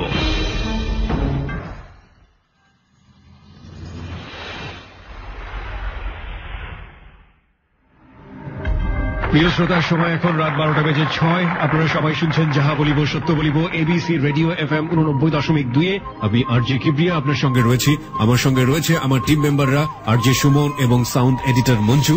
আর আজকে জীবনের অপ্রিয় সত্যগুলো এখানে স্বীকার করছেন মতিন। মতিনকে দেখতে চাওয়া, মতিনকে কোনো প্রশ্ন করা, আপনার মতিনের কাছে কোনো কোয়ারি বা মতিনের সাথে সরাসরি যোগাযোগ করতে চাইলে আপনারা চলে আসতে পারেন আমাদের ফেসবুকে আমাদের ফেসবুকের ঠিকানা W W W dot Facebook dot com slash ABC radio F M eighty nine point two এটা ফেসবুক ভেরিফাইড পেজ এবং ফেসবুকে শুধুমাত্র এবিসি রেডিওতে যে পেজটি দেখবেন যে ফেসবুকে ভেরিফাইড পেজ সেই পেজটি হচ্ছে আমাদের এবিসি রেডিওর পেজ এবং এখানে গিয়ে মতিনের ছবি দেখার জন্য মতিনের সম্পর্কে যাবতীয় জানার জন্য একটি পেজের লিঙ্ক দেওয়া আছে। ওই পেজে গিয়ে আপনি মতিনের ছবিগুলো দেখতে পারবেন এবং চাইলে আপনি পেজটির মেম্বারও হয়ে যেতে পারেন। ওকে মতিন যেই প্রসঙ্গে আমরা ছিলাম আপনি বলছিলেন যে আপনি এক ধরনের প্রতিশোধ পরায়ণতার দিকে যাবেন এবং তারপরে সেটা আপনি যাওয়ার পরে এমন হলো যে আপনার অভ্যাসে পরিণত হয়ে গেল। সেই সময়টাতে আপনার বয়স তো পরিণত বয়স বলা যেতে পারে একটা মেয়েকে ভালো লাগার জন্য। হ্যাঁ, হ্যাঁ। ওই সময়টাতে সাধারণত একটা মেয়েকে ভালো লাগাটাই আপনার মধ্যে স্বাভাবিক বৈশিষ্ট্য। এরকম কোনো কিছু হতো? না ভাইয়া। ন্যাচারালি হতো না? ন্যাচারালি না আমার মানে এখন একটু একটু হয় কিন্তু আমি তারপর আমার মেয়েদের এখনও কোনো চয়েস করি নাই। ওকে তারপর কি হলো? তারপর আমি মেজো ভাইয়ের সাথে যোগাযোগ করি যে ভাইয়া আমি তোমার ওখানে যাব। দেখো তাড়াতাড়ি কোনো ব্যবস্থা করো। ঢাকাতে? হ্যাঁ ঢাকাতে আসব। আমার মেজো ভাইয়া ঢাকাতে থাকতো। তখন আমি মেজো ভাইয়ের সাথে যোগাযোগ করি। ভাইয়া বলে যে ও আমার মায়ের চোখে ই হয় মানে ছানি পড়ে। তখন চোখে কম দেখে তখন মা অপারেশন নেওয়ার জন্য মেজো ভাইয়া ঢাকা নিয়ে আসে। আচ্ছা। নিয়ে আসার পরে মা মা অপারেশন হয়। এক মাস তেরো দিন মেজো ভাইয়ার বাসায় থাকে। থাকার পর মেজো ভাইয়া ফোন দেয় যে আমাকে বলে আর মেজুদুল্লা ভাইকে বলে যে মাকে এসে নিয়ে যাইতে আমি যাইতে পারব না। যেহেতু মা সুস্থ হয়ে গেছে তখন আমি মেজো ভাইয়ের ওখানে আসি আমার মেজুদুল্লা দুলা ভাই নিয়ে। আসার পরে দেখা যায় যে একদিন থেকে চলে যাওয়া লাগবে মাকে নিয়ে। তো একদিন রাত্রে করে যে শিশু পার্ক তারপরে এখানে ওখানে ঘুরে। শহীদ মিনার এদিকে তারপরে কয়েক জায়গায় নিয়ে যায়। তো আমার না ভালো লাগে যে আমি বাড়িতে যাব না। আমি ঢাকাতেই থাকব এখানে কত সুন্দর জায়গা কত সুন্দর মানুষজন ভালো লাগতেছে। এখানেই থাক। তো আমি আইসে আর যাইতে চাই না। ভাইয়াকে বলি যে ভাইয়া আমি যাব না আমি এখানে থাকব। তো ভাইয়া বলে যে দেখো এনে তো এমনি বইয়া থাকলে হইব না। আমি একটা ব্যবস্থা তাড়াতাড়ি করে তোমাকে নিয়ে আসব। তখন মাকে নিয়ে আমরা চলে যাই। আমি আমার মেজেতুলো ভাই চলে যাওয়ার পরে বাড়িতে যা আমি শুধু যোগাযোগ করি। আমার খালি এখানকার কথা মনে পড়তেছে যে আমি ঢাকা যাব ঢাকা থাকব। আর ওখানে তো আমার যে এইগুলো ওগুলো আমি চলতেছে। তো তারপরে আমি আমার মেজো ভাইয়ের সাথে যোগাযোগ করি। আমার মেজো ভাইয়ার যে মালিকের বাসায় থাকতো ওই বাসারই ওই মালিকেরই একটা ফ্যাক্টরি আছে যেখানে এখন আমি আছি। ওখানে মানে আমার চাবি টাবি দায়িত্ব হিসেবে আমার থাকা লাগবে। ওকে তখন আমাকে ওখানে যোগাযোগ করে। করার পরে মেজো ভাইয়া বলে যে ঠিক আছে আসো। তখন আসি। আসার পরে আমি ফ্যাক্টরিতে থাকি। খুব কষ্ট হইতেছে থাকা। যেহেতু গ্রামে এখানে অনেক চলছি মিশছি সবার সাথে বন্ধুদের সাথে। তখন এখানে এটা পাইতেছি না। সবাই অপরিচিত অচেনা সব। তো তখন আমি বাড়িতে মেজো ভাইয়ের কাছে সন্ধ্যার দিকে ফোন দিয়ে যে আমি থাকব না। বলে কেন? যে এখানে কাউকে চিনি না কেমন জানি লাগতেছে। তখন ভাইয়া বলে যে আমি না বলছি যে তুমি থাকতে পারবে না। তো ঠিক আছে এক সপ্তাহ থাকো ঠিক হওয়া যাবে। তো মেজবার কথা মতো আমি এক সপ্তাহ থাকি। থাকার পরে আমি দেখি যে না ভালোই লাগতেছে।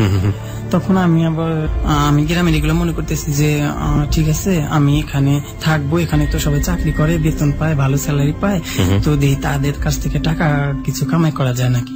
মানে আমার এটা ছিল না যে আমার এই টাকাগুলো সংসারে দিব কিংবা কাউকে খাওয়াবো। আমি চাইছি যে আমার আমি আমার মতো করে চলবো।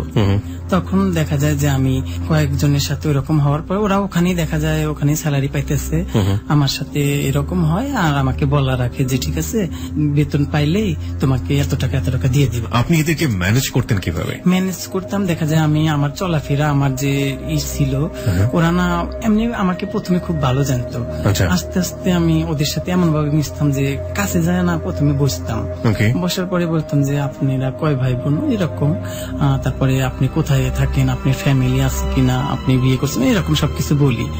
যখন দেখি যে না ফ্যামিলি মানে বিয়ে করে নাই তখন একটু আর একটু সুযোগটা কাজে লাগাই বেশি করে। যে তাহলে তো এ সংসার নাই এ আরও অন্যদিকে খরচ করবে বেশি।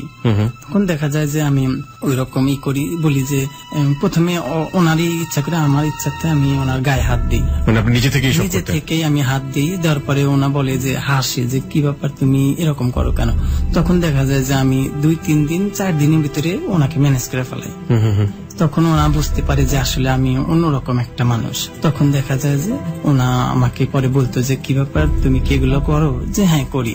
তখন বলতো যে তো করবা এগুলা? হ্যাঁ করব। তখন বলতাম যে আচ্ছা আপনি এগুলো করবেন।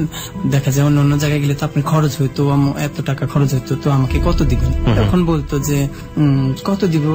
তুমি কত চাও? তখন আমি আমারই মতো কম করে বলতাম ওনাকে দিয়ে আমি বারবার মানে আমার টাকা উসুল করব কামাই করব এরকমই আপনি কত টাকা করে নিতেন এসব করতে গিয়ে আহ, দেখা যায় যে ওনারা পুরা মাস ওই নাইট যেগুলো থাকতো তাদের সাথে আমি ওই ই করতাম। তো তখন ওরা দিত পুরা মাসে দেখা যায় যে দুই হাজার পনেরোশো মানে যে আপনার কি পরিমাণ টাকা রোজগার হতো প্রতি মাসে? প্রতি মাসে ধরেন যে আমার প্রায় ওখানে ফ্যাক্টরিতে দেখা যায় যে আমি তখন আমার ইসেতে আমি পাঁচ ছয় হাজার টাকা করে মাসে ই করতাম প্রথমে। তো তখন আমি দেখতাম যে আমি তো স্যালারি পাই তারপরে এরকম তো ভালোই তো খারাপ না। এরকম করে আমি আরও মানুষের সাথে মিশা শুরু করি। তো মিশতে মিশতে আমি একজনের সাথে পরিচয় হয় তো আমি ওর নাম বলতেছি না ভাইয়া। তো ও বিয়ে করছে কিন্তু ও আমাকে মানে ওর কাছে আমি টাকা চাই নাই। ওকে আমার ভালো লাগছে। আমি বলছি যে ওর কাছে আমি টাকা চাবো না আর ও যদি আমার সাথে এগুলো করে আমি ওর সাথে মিশবো। কেন বলেছেন এটা? এটা বলেছি ওকে আমার খুব ভালো লাগছে। কীভাবে ভালো লাগল কীভাবে ভালো লাগল বলতে আমি দেখা যায় যে মেয়েদের পছন্দ হইতো না ছেলেদের পছন্দ হইতো। এই হিসেবে আমি মানে ওকে না অনেক ভালো লেগে যায়। আমি বলি যে ঠিক আছে ওর কাছ থেকে টাকা নিলে হয়তো টাকার বিনিময়ে হয়ে যাবে ভালো লাগার বিনিময়ে এটা হয়ে যায় এই জন্য আমি ওর কাছ থেকে টাকা নিতাম না। তারপরে আমি ওর সাথে এমনি মিশতে মিশতে আমি জানতে পারি যে ও বিবাহিত। আচ্ছা। তো আমি তারপরে ওকে বলি যে আপনি তো বিবাহিত তো আপনি এগুলো কেন করেন? আপনি তো ওয়াইফ আছে সংসার সবকিছুই আছে। তখন বলতো যে সংসার থাকলে কি সবকিছু পাওয়া যায়? এরকম বলতো। তো আমি বলতাম যে আমি তো একটা ছেলে আমাকে দিয়ে আবার কি পাইবেন? আমি এরকম বলতাম। বলার পরে ওর সাথে দেখা যায় আমার ওগুলা হইতেছে। কিন্তু অন্যদের সাথে টাকা নিতেছি, কিন্তু আমি ওর কাছ থেকে নিতেছি না। ও আমাকে না দেখা যায় যে আমার সাথে পরিচয় হওয়ার আগে ও আমাকে কিছুই দিত না। মানে ওর সাথে ওগুলো হওয়ার পরে আমাকে দিত। আমি আবার ভাবতাম কি যে কি ব্যাপার? আমি টাকা নিই না কিন্তু আমাকে জোর করে একটা জিনিস এনে দিত যে এটা নাও ওইটা নাও। আমি আবার তখন না নিতাম না কিন্তু জোর করে দিত। নিয়ে আবার কান্না করতাম যে ও তো মনে হয় ভালো কিন্তু ও আমাকে এগুলো আমার সাথে এগুলো হওয়ার আগে দিল না কে? এগুলো এগুলো হওয়ার আগে দিত তাহলে তো আমি মনে করতাম যে ও আমাকে ভালোবাসতো। তাহলে তো ও আমাকে ভালোবাসে না। ও হয়তো আমার সাথে সঙ্গ নেয় দেখে ও আমাকে এগুলো দিতেছে ভালো লাগতেছে। তখন কি করব? এরকম হয়। আমিও ওকে কয়েকবার প্রশ্ন করি যে আপনি আমাকে যদি এই জিনিসগুলা একদিন আগেও দিতেন, তাও আমি মনে করতাম যে, না, আপনি আমাকে ভালোবাসেন। আপনি আমার সাথে এগুলো হওয়ার পরে দিলেন। আমার তো মনে হয় যে আপনি আমাকে ভালোবাসেন, আপনি আমার এগুলো ভালোবাসেন। তখন বলতো যে, না, করতো যে, না, ভালোবাসি, এরকম বলতো। তো আমি এখন আর কিছু বলতাম না। দেখা যায় যে, ও আমাকে এমন ভাবে জানতো যে, আমার মনে কারোর সাথে সম্পর্কই নাই। ও আমাকে কোনদিন বলে নাই যে, কারোর সাথে সম্পর্ক আছে কিনা। আমি যার যার সাথে মিশতাম, আমি তাদের খালি শুধু একটা কথা বলতাম যে, দেখো, তোমার সাথে তো এরকম হইল, কাউকে যদি বলো তো আমাদের সম্মান কিন্তু কারোরই থাকবে না। তো এগুলা কিন্তু চাপায় যেতে হবে। সবাই যার যার মতো থাকতে চলতো। কিন্তু ওর সাথে যখন পরিচয় হয়ে যায় এরকম তখন দেখা যায় যে যাদের সাথে আমি করছি তারা বুঝতে পারে। দেখা যায় আমরা একসাথে আসি আমাদের চলা আচরণ সবকিছুতে ওরা না বুঝতে পারে যে ওর সাথে মনে হয় ওর কোনো সম্পর্ক আছে। যেহেতু আমি ওদের সাথেও মিশছি। ওদের চলাফেরা ও দেখছে ওরা দেখছে যে আমাদের সাথে এরকম চলাফেরা করে আমাদের সাথে এরকম হয়েছে তাহলে তো ওর সাথেও আছে। এরকম করতে করতে টুকটাক একটু একটু লোকজন মানে জানাজানি হওয়ার মতো হয়। তখন আমি ভয় পাওয়া যায় যে আমি এখানে আসছি আমার ভাই আয়না দিচ্ছে আমাদের সিরাজগঞ্জেরই মালিক ফ্যাক্টরি তো ওনার যদি জানাজানি হয় এরা যদি আমাদের বাড়ি পর্যন্ত চলে যায় তো আমার তো আর মুখ দেখানোর মতো কোনো ই থাকবে না। তখন তো আমার আত্মহত্যা ছাড়া কোনো পথ নাই। তখন আমি কি করি? যে ঠিক আছে আমি এখনকার থেকে বড় বড় এগুলো ধরবো যাতে বেশি টাকা ইনকাম করতে পারি আর কম মানুষের ভিতরে থাকব। মানুষ কমায় দিতে হবে। যেহেতু সবাই এগুলো জানলে তখন আমার এখানে থাকা যাবে না। তখন দেখা যায় যে ওখানে আমাদের মেন রাস্তায় আমাদের ফ্যাক্টরিটা আর একটা ফ্যাক্টরি আছে, ওই ফ্যাক্টরির সাথে নেয় সুইটার ফ্যাক্টরি তো ওখানে নেওয়ার পরে দুই ফ্যাক্টরি এক জায়গায় করে, করার পরে ওখানে দেখা যায় যে আরও মানুষ বেশি হয়ে যায়। দেখা আমি দুই ফ্যাক্টরিতে আমাদের চলাচল করতে হয়, থাকা লাগে। ওখানে মানুষ বেশি হওয়ার পরে দেখা যায় যে একজন দুজন করে ওখানে আরও মানুষ হয়ে যায়। তো আমি তখন ওখানে আবার তাদের সাথে আবার ওই রকম আমি তাদের কাছ থেকে টাকা নিই আর তাদের সাথে এরকম কাজ করি। পরে আমি দেখা যায় যে আবার ওই সন্ধ্যার দিক দিয়ে একটু একটু বাইর হইতাম। আমার যেহেতু সবাই চলে গেলে চাবি টাবি সবকিছু আমার কাছে থাকে, আর যারা নাইটে ডিউটি করে ওরা তো না ফ্লোরেই থাকে। ওরা কাজ করে, কিছু লাগলে আমাদের আমাদের কাছে চায়। তো তখন আমি বাইর হইলাম, হওয়ার পরে ওইখানে একটা নামি দামি লোক আছে, ওনার মেম্বার। ওনার নাম বলতেছি না, কিন্তু ওনা আমাকে প্রথমে একদিন ডাকে। ডাকার পরে ওখানে একটা স্কুল মাঠ আছে, আমাকে বলে যে, তোমার বাড়ি কোথায়? ওখানে আমি ঘুরতেছি তো, বললাম যে, আমার বাড়ি, আমার আমার ওখানে সিরাজগঞ্জের কথা বলি, তুমি থাকো কই? বললাম যে ফ্যাক্টরিতে থাকি। তো ওই ফ্যাক্টরি আবার আমাদের মালিক, আবার ওনারই ইসে ভাড়া থাকে।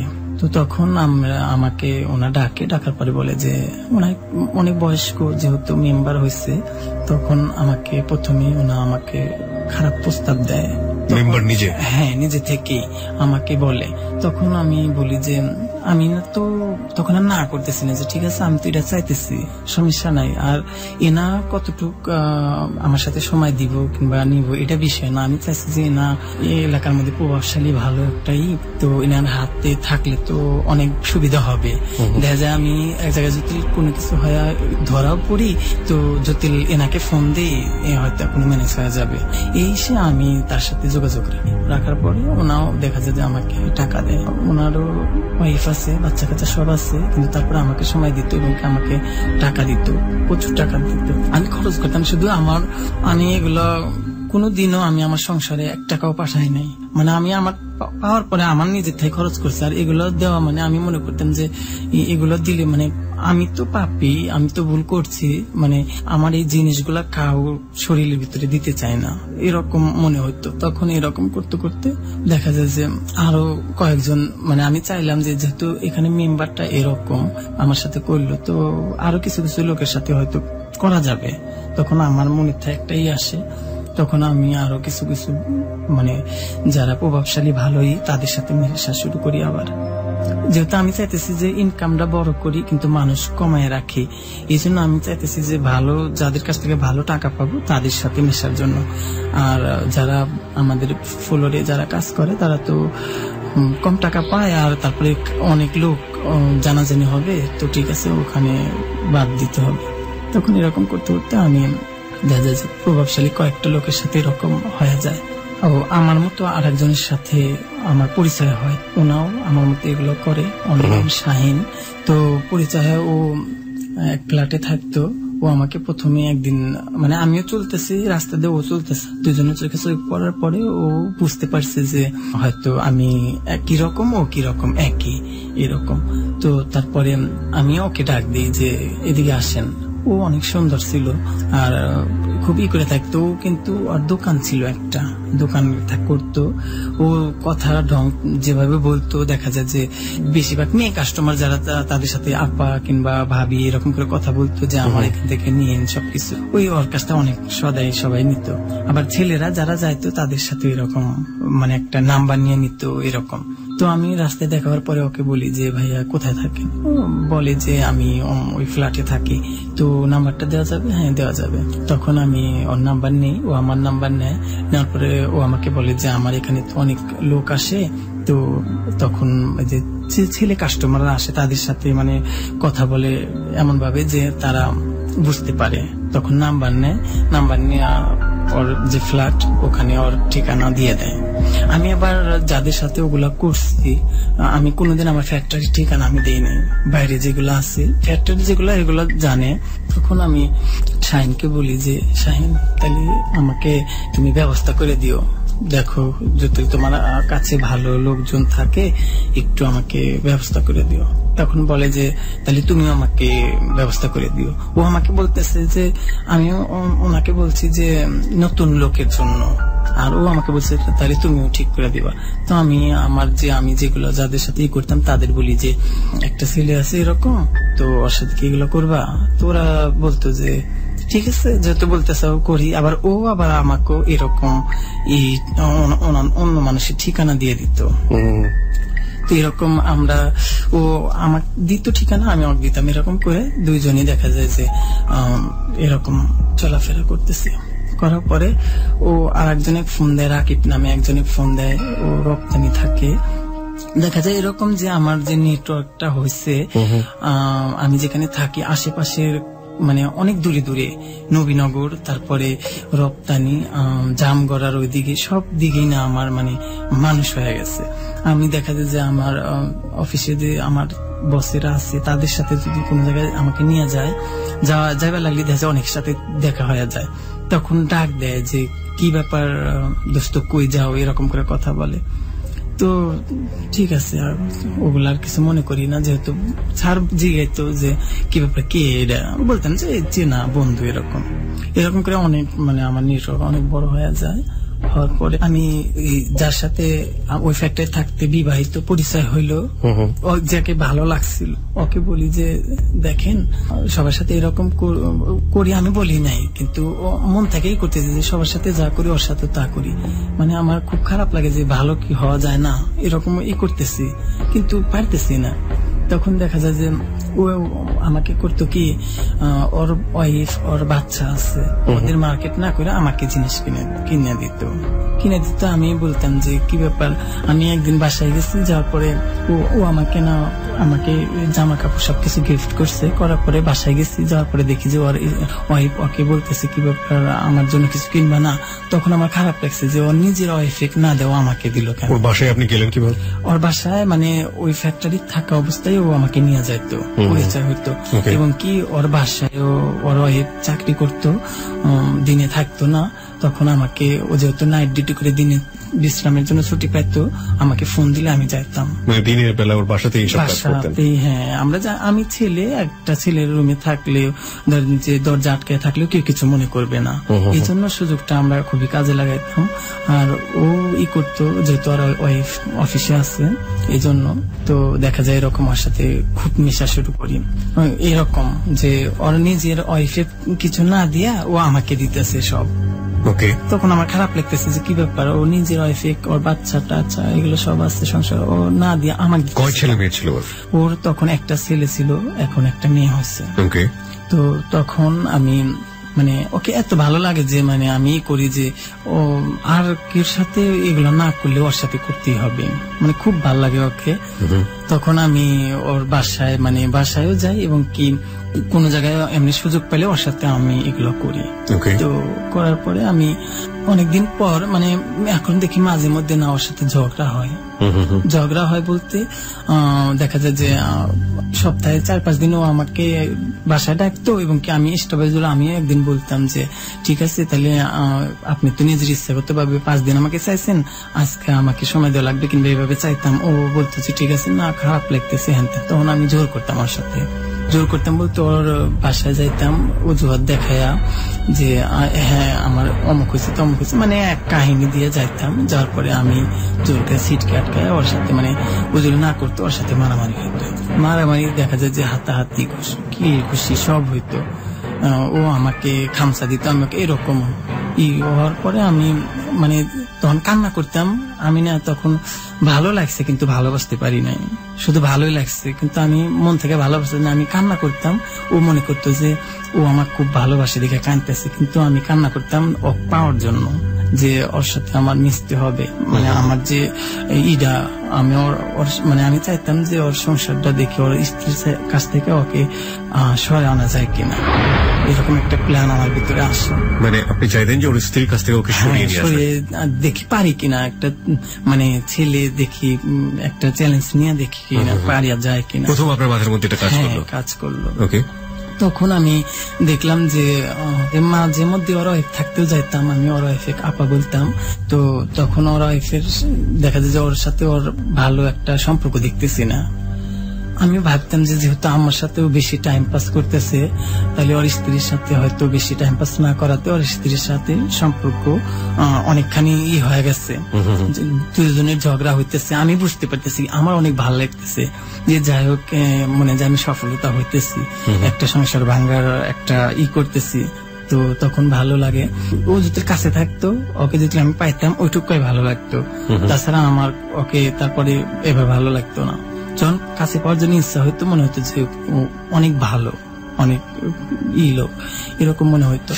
Very very physical or mental part এবং আমরা এটা নিয়ে আমাদের সাইকিয়াট্রিস্ট যিনি আছেন তাকে জিজ্ঞেস করব যে how it happens in human সাইকোলজিতে কীভাবে হয় জিনিসগুলো? আহ, যিনি আছেন আমাদের এখানে ডক্টর তাজুল ইসলাম তিনি পুরো অনুষ্ঠানটাই শুনছেন তিনি তার মতামত শেষে গিয়ে জানাবেন। আমরা আরেকবার একটু ফোনে তাকে চেক করতে চাই ডক্টর তাজুল ইসলাম আমাকে শুনতে পাচ্ছেন? জি আমি আপনাকে শুনতেছি। জি আপনি তো আম, আমাদের মতিনের ব্যাপারগুলো মোটামুটি ক্লিয়ার হচ্ছেন এবং আশা করছি আমরা শেষে গিয়ে মতামত দিবেন। হ্যাঁ তার গল্প এবং কাহিনী শুনতেছি এবং আমি আরও তার বাকি কাহিনীগুলি শুনব গল্পগুলি শোনার পরে আমি আমার মন্ত্রী মন্তব্য এবং বক্তব্য দেবো।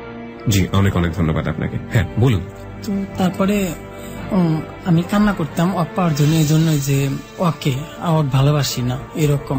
তো এখন আমি এরকম করতে করতে দেখা যায় যে ওর সাথে আমার মারামারি হইতেছে এবং প্রথম ওর সাথে এক বছর আমার কথা কওয়া বন্ধ হয়ে যায়। কথা বলা ওর সাথে বন্ধ হয়ে যায়। তো কথা বলা বন্ধ হলেও আমার প্রবলেম নাই কারণ আমার তো অনেক লোক আছে। ওর সাথে না মিশতে পারলেও আরও তো অনেক লোক আছে মিশতে পারব। তো ওর সাথে এক বছর কোনো কথা হয় না। দেখা এক জায়গায় আমরা একই ফ্যাক্টরিতে আমাদের ফ্যাক্টরিতে কাজ করতো দেখা হয় কিন্তু কথা হয় না। আমি আমাদের অফিসের সাথে আমাদের রুম করা আছে ওখানে আমরা থাকি। তো আমি একদিন শুয়ে আছি কথা বলে না এক বছর। দেখি যে ও আসছে আমার পাশে শুয়ে আছে। তো তখন আমি ওকে বলি যে কি ব্যাপার আপনি এখানে? বলে যে মানে আগে যে আমার সাথে যেগুলো করতো ওটা বলে। তখন আমি কোনো কিছু না বলে আবার ওর সাথে জড়া যাই। জড়া যার পরে এরকম আবার অনেক চলতে থাকে। আশেপাশে তো লোকজন আছেই। মানে ও বুঝতো যে মনে যে আপনি আমি- অ্যাট এ টাইম কতগুলো মানুষের সাথে এভাবে জড়াতেন? আমি গ্রামে থেকে প্রায় ছয়চল্লিশ জন না আটচল্লিশ জনের মতো গ্রামে থেকে আসার পরে ঢাকা আসার পরে আমার মোট একশো চার জন হয়েছে। একশো চার জনের সাথে আপনি ধরনের ভাবে শারীরিক সম্পর্কে জড়িয়েছেন এদের মধ্যে বিবাহিত? অবিবাহিত সব মানে আমি একটা জিনিস ই করতাম মানে এখানে কিন্তু বয়স্ক লোক যারা আছে আমি শুনতাম যে মিশতে মানে মিশতাম এই জন্যই যে আমি খালি ই করার জন্য পরীক্ষা করার জন্য যে সবার সাথেই মিশবো। আমার জীবনটা সবার কাছে বিলিয়ে দিব আমি দেখি মানে কি হয় তখন আমি সবার সাথে মানে বয়স্ক প্রায় আমার প্রতিবেশী এক দাদা ছিল গ্রামে ওনার সাথে ওনার ওয়াইফ ছিল না কিন্তু আমি ওনার ওনার বয়স্ক ছিল আমি যারা ওনার যে লাঠি লাঠিগুলা মুছে দিতাম ওনার মানে অনেক অনেক যত্ন করতাম যত্ন করার বয়স কত ছিল বয়স 73%. No 20%. No comments. 7%.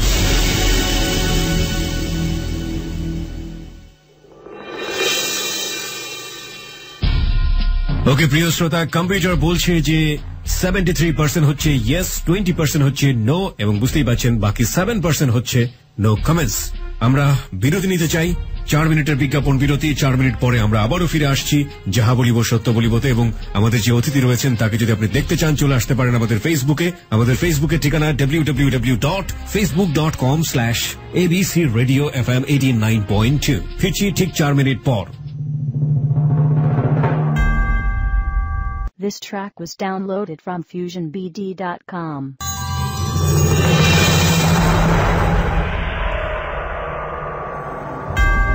প্রিয় শ্রোতা, চার মিনিটের বিজ্ঞাপন বিরতির পর আমরা আবারও ফিরে এসেছি। যাহা বলিব, সত্য বলিবতে, আমি আরজে কিবরিয়া রয়েছে আপনার সঙ্গে এবং আপনি শুনছেন আপনার প্রিয় station ABC radio F M eighty nine point two আমার সঙ্গে রয়েছে আমার টিম মেম্বাররা RJ Suman sound editor Manju এবং আজকে জীবনের অপ্রিয় সত্যগুলো এখানে প্রকাশ করছেন মতিন। মতিনের কাছে আমি আবারও ফিরে যেতে চাই, আর আপনি যদি আপনার জীবনের অপ্রিয় সত্যগুলো এখানে এসে অকপটে বলতে চান, কি ভুল করেছিলেন, কেন করেছিলেন এবং তার পরিণতি কি হয়েছিল, লাখো মানুষকে যদি সচেতন করতে চান আসতে পারেন। আসার জন্য নিয়ম হচ্ছে, প্রথমে আপনি লিখবেন A B C space JBSB space আপনার নাম, এরপর পাঠিয়ে দেবেন দুই দুই দুই এক নম্বরে। আমি আবারও বলছি, প্রথমে লিখতে হবে A B C space JBSB যেটা আমাদের অনুষ্ঠানের শর্ট কোড স্পেস আপনার নাম, এরপর পাঠিয়ে দিতে হবে দুই দুই দুই এক নম্বরে। আমরা ফিরছি মতিনের কাছে। হ্যাঁ মতিন, আপনি যে প্রসঙ্গে ছিলেন। তো তখন আমি ওনার বাড়িতে যাইতাম। যেহেতু ওই দাদার ওয়াইফ মারা গেছে অনেক আগে, তো আমি যা ওনার সেবা করতাম। দাদা, নাতি, যে সম্পর্ক ওই রকম মানে খুবই হয়ে যায়। যাওয়ার পরে আমি দেখা যায় যে বয়স্ক লোকের ঘরে তার লোকজন যাবে না। তখন আমি তার সাথে তাকে মানে ইচ্ছা করতে ভাবি যেহেতু বয়স্ক লোক, আমি ভাবছি যে যদি ওনা জোর করে, যেহেতু বয়স্ক, আমার সাথে তো পারবে না। আমি যেমনি হোক জোর করে ওনার সাথে মানে আমারই ছিল যে মানে সবার সাথেই করব। এরকম ইচ্ছা ছিল। মানে আপনার টার্গেট ছিল যে আমি যেহেতু নষ্ট হয়ে গেছি আমি সবার সাথে নষ্ট এই আমি কাজগুলো করব। তখন ওই দাদার সাথে মানে আমি ওগুলো করি। ওনা আমাকে বলছে যে দেখ আমি তো বয়স হয়ে গেছে আমি তো এখন তো আমার মানে দুনিয়া থেকে কখন জানি চলে যাই তো এটা ঠিক না।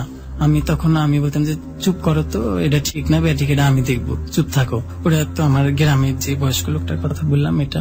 তারপরে আমি ঢাকার যে ওর সাথে জড়ায় যাই, আবার অনেকদিন সম্পর্ক ছয় মাস কথা হয় না। কথা হয় না এই জন্যই যে আমি ওকে চাই, ও আমাকে চায়। অনেক সময় দেখা যায় ইষ্টভাবে একজন একজনকে চাইলেই তখন মারামিল লাগে, তখন একটা কিছু হয়ে যায়। তো একদিন আমাদের অফিসেই তখন ও কাজ করে কাজ করতেছে, আমি ও তখন নন্দনে ঘুরতে গেছে। ও ঘুরতে যাবে, আমাকে গল্প বলতেছে যে কালকে যাব, টিকিট কাটছি, ও যাবে, ওর ভাইয়া যাবে, সবাই যাবে।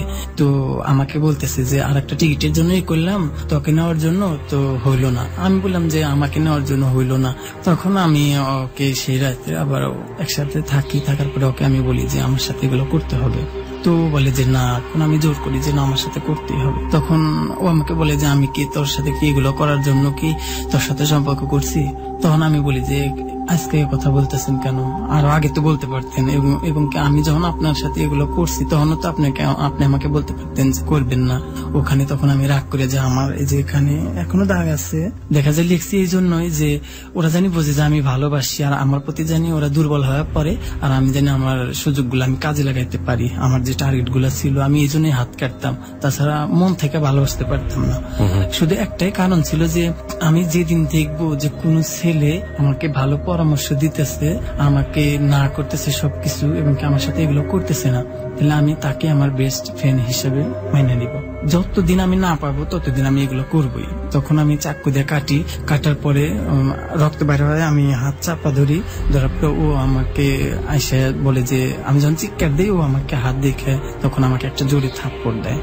দেওয়ার পরে আমি তখন জ্ঞান হারায় ফেলি।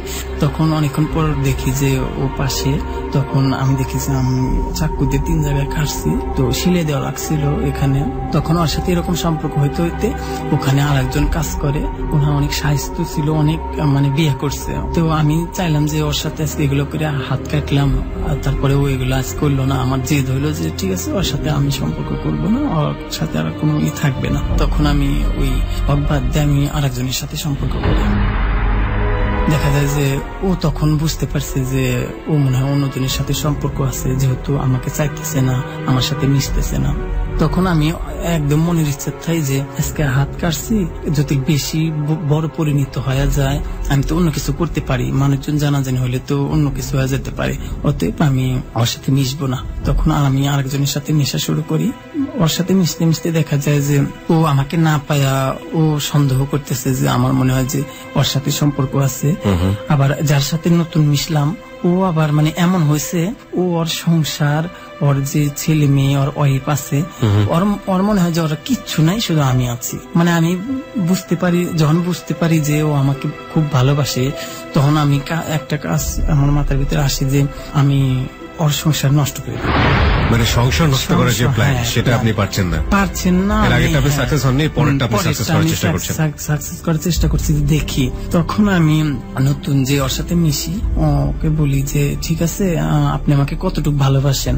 বলে যে আমার জীবন যত দিয়ে দেই তাও মানে শেষ হবে না তোমাকে ভালোবাসা। তো তখন দেখা যায় ওর সাথে মিশতেছি ও সহ্য করতে পারতেছে না আবার ওর সাথে মিশতেছি ও সহ্য করতে পারতেছে না। তখন আমি তো মানে একটা বিপদের মুখে পড়ে গেলাম যে যদি ওরা গন্ডগোল করে হয়তো একটা জেদের কারণে হইতে পারে। তখন আমি কি করি? নতুন যে ওনার নাম আফাজ ভাই ওনার সাথে আমি মিশা শুরু করি। ওকে। কয়েকদিন হওয়ার পরে উনি দেখা যায় যে মানে সব ভুলে গেছে। আহ, অফিসতে যাওয়ার পরে আমাকে ফোন দিতেছে আসো বাসায়। আমি বাসায় যাওয়ার আগে দেখা যায় যে ওর বাসায় যে নাস্তাগুলো থাকতো সব বাদে আরও জিনিস আমার জন্য নিয়ে যেত এক্সট্রা ভাবে। তুমি আমার ছোট ভাই তোমাকে আমি ছোট ভাইয়ের মতো ভালোবাসি। তো ঠিক আছে। ভালোবাসেন। এরকম করার পরে এখন অনেকদিন পর ওনার মেয়ের বিয়ে হয়। বিয়ে হওয়ার পরে ওনার মেয়ে আবার আমাকে মামা ডাকতো। বলতেছে মামা এখানে বিয়ে হলে আমার হাতে মেহেদি কিন্তু আপনি দিয়ে দিবেন। ওনার মেয়ের বিয়ের দিনই মানে প্রথম ওনার সাথে আমার প্রথম হয় ওখানে। ওখানে হওয়ার পরেই তারপরে যে কয়েকবার হয়েছে আমার জন্য পাগল হয়ে গেছে বেশি।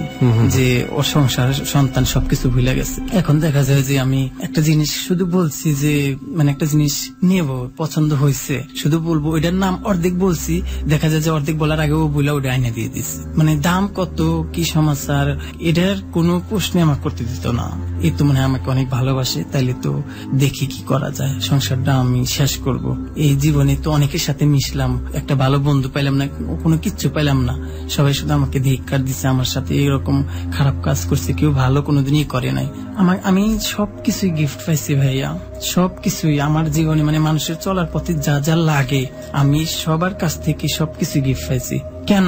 আমাকে তো আমার সাথে এগুলো করার আগেও তো এগুলো দিতে পারতো। আমাকে একটা ভালো বন্ধু মনে করতে পারতো। এগুলো তো না ভেবে আমাকে এগুলো হওয়ার পরে দিতেছে কেন? কি করা? তারপরেও চলতাম, মিশতাম। মানুষেরই যেগুলো দিত অনেক সময় না করতাম এই কারণে যে ওনারা জানেন আমাকে খারাপ লোভী না ভাবে। কিন্তু আমি নিতাম। ওকে আমাকে অফিস থেকে কিনে দেওয়া হয়। চৌত্রিশশো টাকা দিয়ে মোবাইলটা আমি মোবাইলটা মানে রাখতে পারি না। মানে আমি ব্যবহার করতে পারি না ভালো করে। তো আমি তখনও আফাজ আমাকে বলে ঠিক আছে মোবাইল এটা রাখা দরকার না আমি তোমাকে মোবাইল কিনে দিব। তো তখনও আমাকে প্রথম একটা এই যে এখন যে মোবাইলটা আমার কাছে আছে ও আমি আর একটা কথা বলি নাই যে আমি বাড়িতে ওখানে যে গাড়ি যাওয়া আসা করে। তো মালিক যাওয়া আসা করে আমি দেখা যায় যে অনেক সময় বাড়িতে অনেক কিছু কিনায় পাঠাই দিতাম। তখন দেখা যায় যে আমি বলছি যে এই জিনিসগুলো লেওয়া লাগবে। দেখা যায় ও যে দোকানে খাইতো ওই দোকান তার সব অন্য নামে নিয়ে দিছে। ওকে হ্যাঁ, নিয়ে দিছে দেওয়ার পরে ও বলতেছে ধরো। তো আমি বলতাম যে মানে অনেক টাকার জিনিস কি ব্যাপার আপনি এত টাকার জিনিস? বলতো নাও সমস্যা নেই তুমি বলছো না নাও। আমি এগুলো সব বাড়িতে পাঠাই দিতাম। ও আমাকে মোবাইল কিনে দেয়। তারপরে আমি আর একটা মনিটরের খুব শখ ছিল বলি যে আমার একটা মনিটর লাগবে যেহেতু অফিসে টিভি আছে ওটা তো সবসময় দেখা যাবে না। তখন আমাকেও একটা মনিটরও কিনে দেয়। আর ডিস বিলও দিয়ে দেয় প্রতি মাসে। Dish bill? হ্যাঁ ও দিয়ে দেয় যে মানে ও আমাকে কোনো খরচ আমার নিজের কোনো টাকা খরচ করতে দিবে না। অনেক অবাক হই যে এটা আবার কেমন মানুষ? এই লোকটির নাম কি ছিল বললাম আফাজ। যার মেয়ের বিয়ে হয়ে গেল। হ্যাঁ। ওকে। তো তখন আমি ওনাকে বলি যে ঠিক আছে আপনি কত ভালোবাসেন আমি আপনাকে পরীক্ষা করব। তো বলে যে তুমি যা বলবা আমি তাই করব আমি সব পরীক্ষা দিতে পারব। তখন ওনাকে বলি যে আচ্ছা আপনি আপনি কি আপনার ফ্যামিলি সব ছেড়ে আমাকে মানে আমাকে ভালোবাসতে পারবেন? ধরেন যে আপনি সবকিছু বাড়িতে পাঠিয়ে দিলেন সবাইকে একটা বাসা ভাড়া করে থাকলেন না আমার সাথে মিশলেন। থাকতে পারবেন? বলে যে হ্যাঁ পারব। তখন আমি বলি যে ঠিক আছে। আমি তখন মনে মনে প্ল্যান করি যে তাহলে আমার প্ল্যানটা মনে হয় এবার সত্যি হবে। তো আমি যেহেতু বলছে ও আমাকে অনেক ভালোবাসে যেহেতু একটা টাকা আমাকে খরচ করতে দিবার চায় না। একটা জিনিস আমি বলছি যে এটা খাব। ও দেখা যায় সাথে সাথে মানে বলা দেরি ও আয়না দেওয়া দেরি নাই দিত। তো ওকে দিয়ে কাজ হবে তখন আমি বলি যে ঠিক আছে না যেহেতু ওরা ওয়াইফ চাকরি করত আমি বলতাম যে ওর যেহেতু তিনটা মেয়ে আছে বাড়িতে গেলে হয়তো অন্যরকম হয়ে যাবে। তো এখানেই থাকুক সমস্যা নাই কিন্তু সংসারটা দেখি কীভাবে কি করা যায়। ওকে। তখন আমি ওর সাথে আরও বেশি মিশি। মিশি বলতে আমিও মানে যেমন যে ও আমাকে ভালোবাসতেছে কিন্তু আমি ভালোবাসতে পারতেছি না। মানে ওকে ঘৃণার মতো করতেছি। কিন্তু ও আমার মন থেকে ভালোবাসতেছে। বুঝতে পারতেছি না যে ও এরকম করে কেন। তো ওর যখন মেয়ের বিয়ে হয় ওই আফাজ ভাই মেয়ে বিয়ে হয় মেয়ের বাসায় আমাদের দাওয়াত করে তো আফাজ ভাই মেয়ে বলে যে মামাকে নিয়ে যেতে। মানে আমাকে নিয়ে যেতে। তখন আমি যাই যাওয়ার পরে ওখানে এক রাত থাকি। ওই দিনই আবার যে আগে যার সাথে পরিচয় ছিল ওনাও বিবাহিত ছিল বললাম যে রানা নাম। তো ও ওকে ফোন দেয় দেওয়ার পরে বলে যে মতিন কি আপনাদের ওখানে গেছে? আপনার সাথে? ও বলে যে না। মানে ও বলছে এই জন্য যে ও ওর সাথে দেখতে চায় না আমার আর ও দেখতে চায় না। আমি যে ওর সাথে হ্যাঁ বাসায় গেছি তখন ও ফোন দিছে কিন্তু আফাজ ভাই বলছে যে না আসেনি।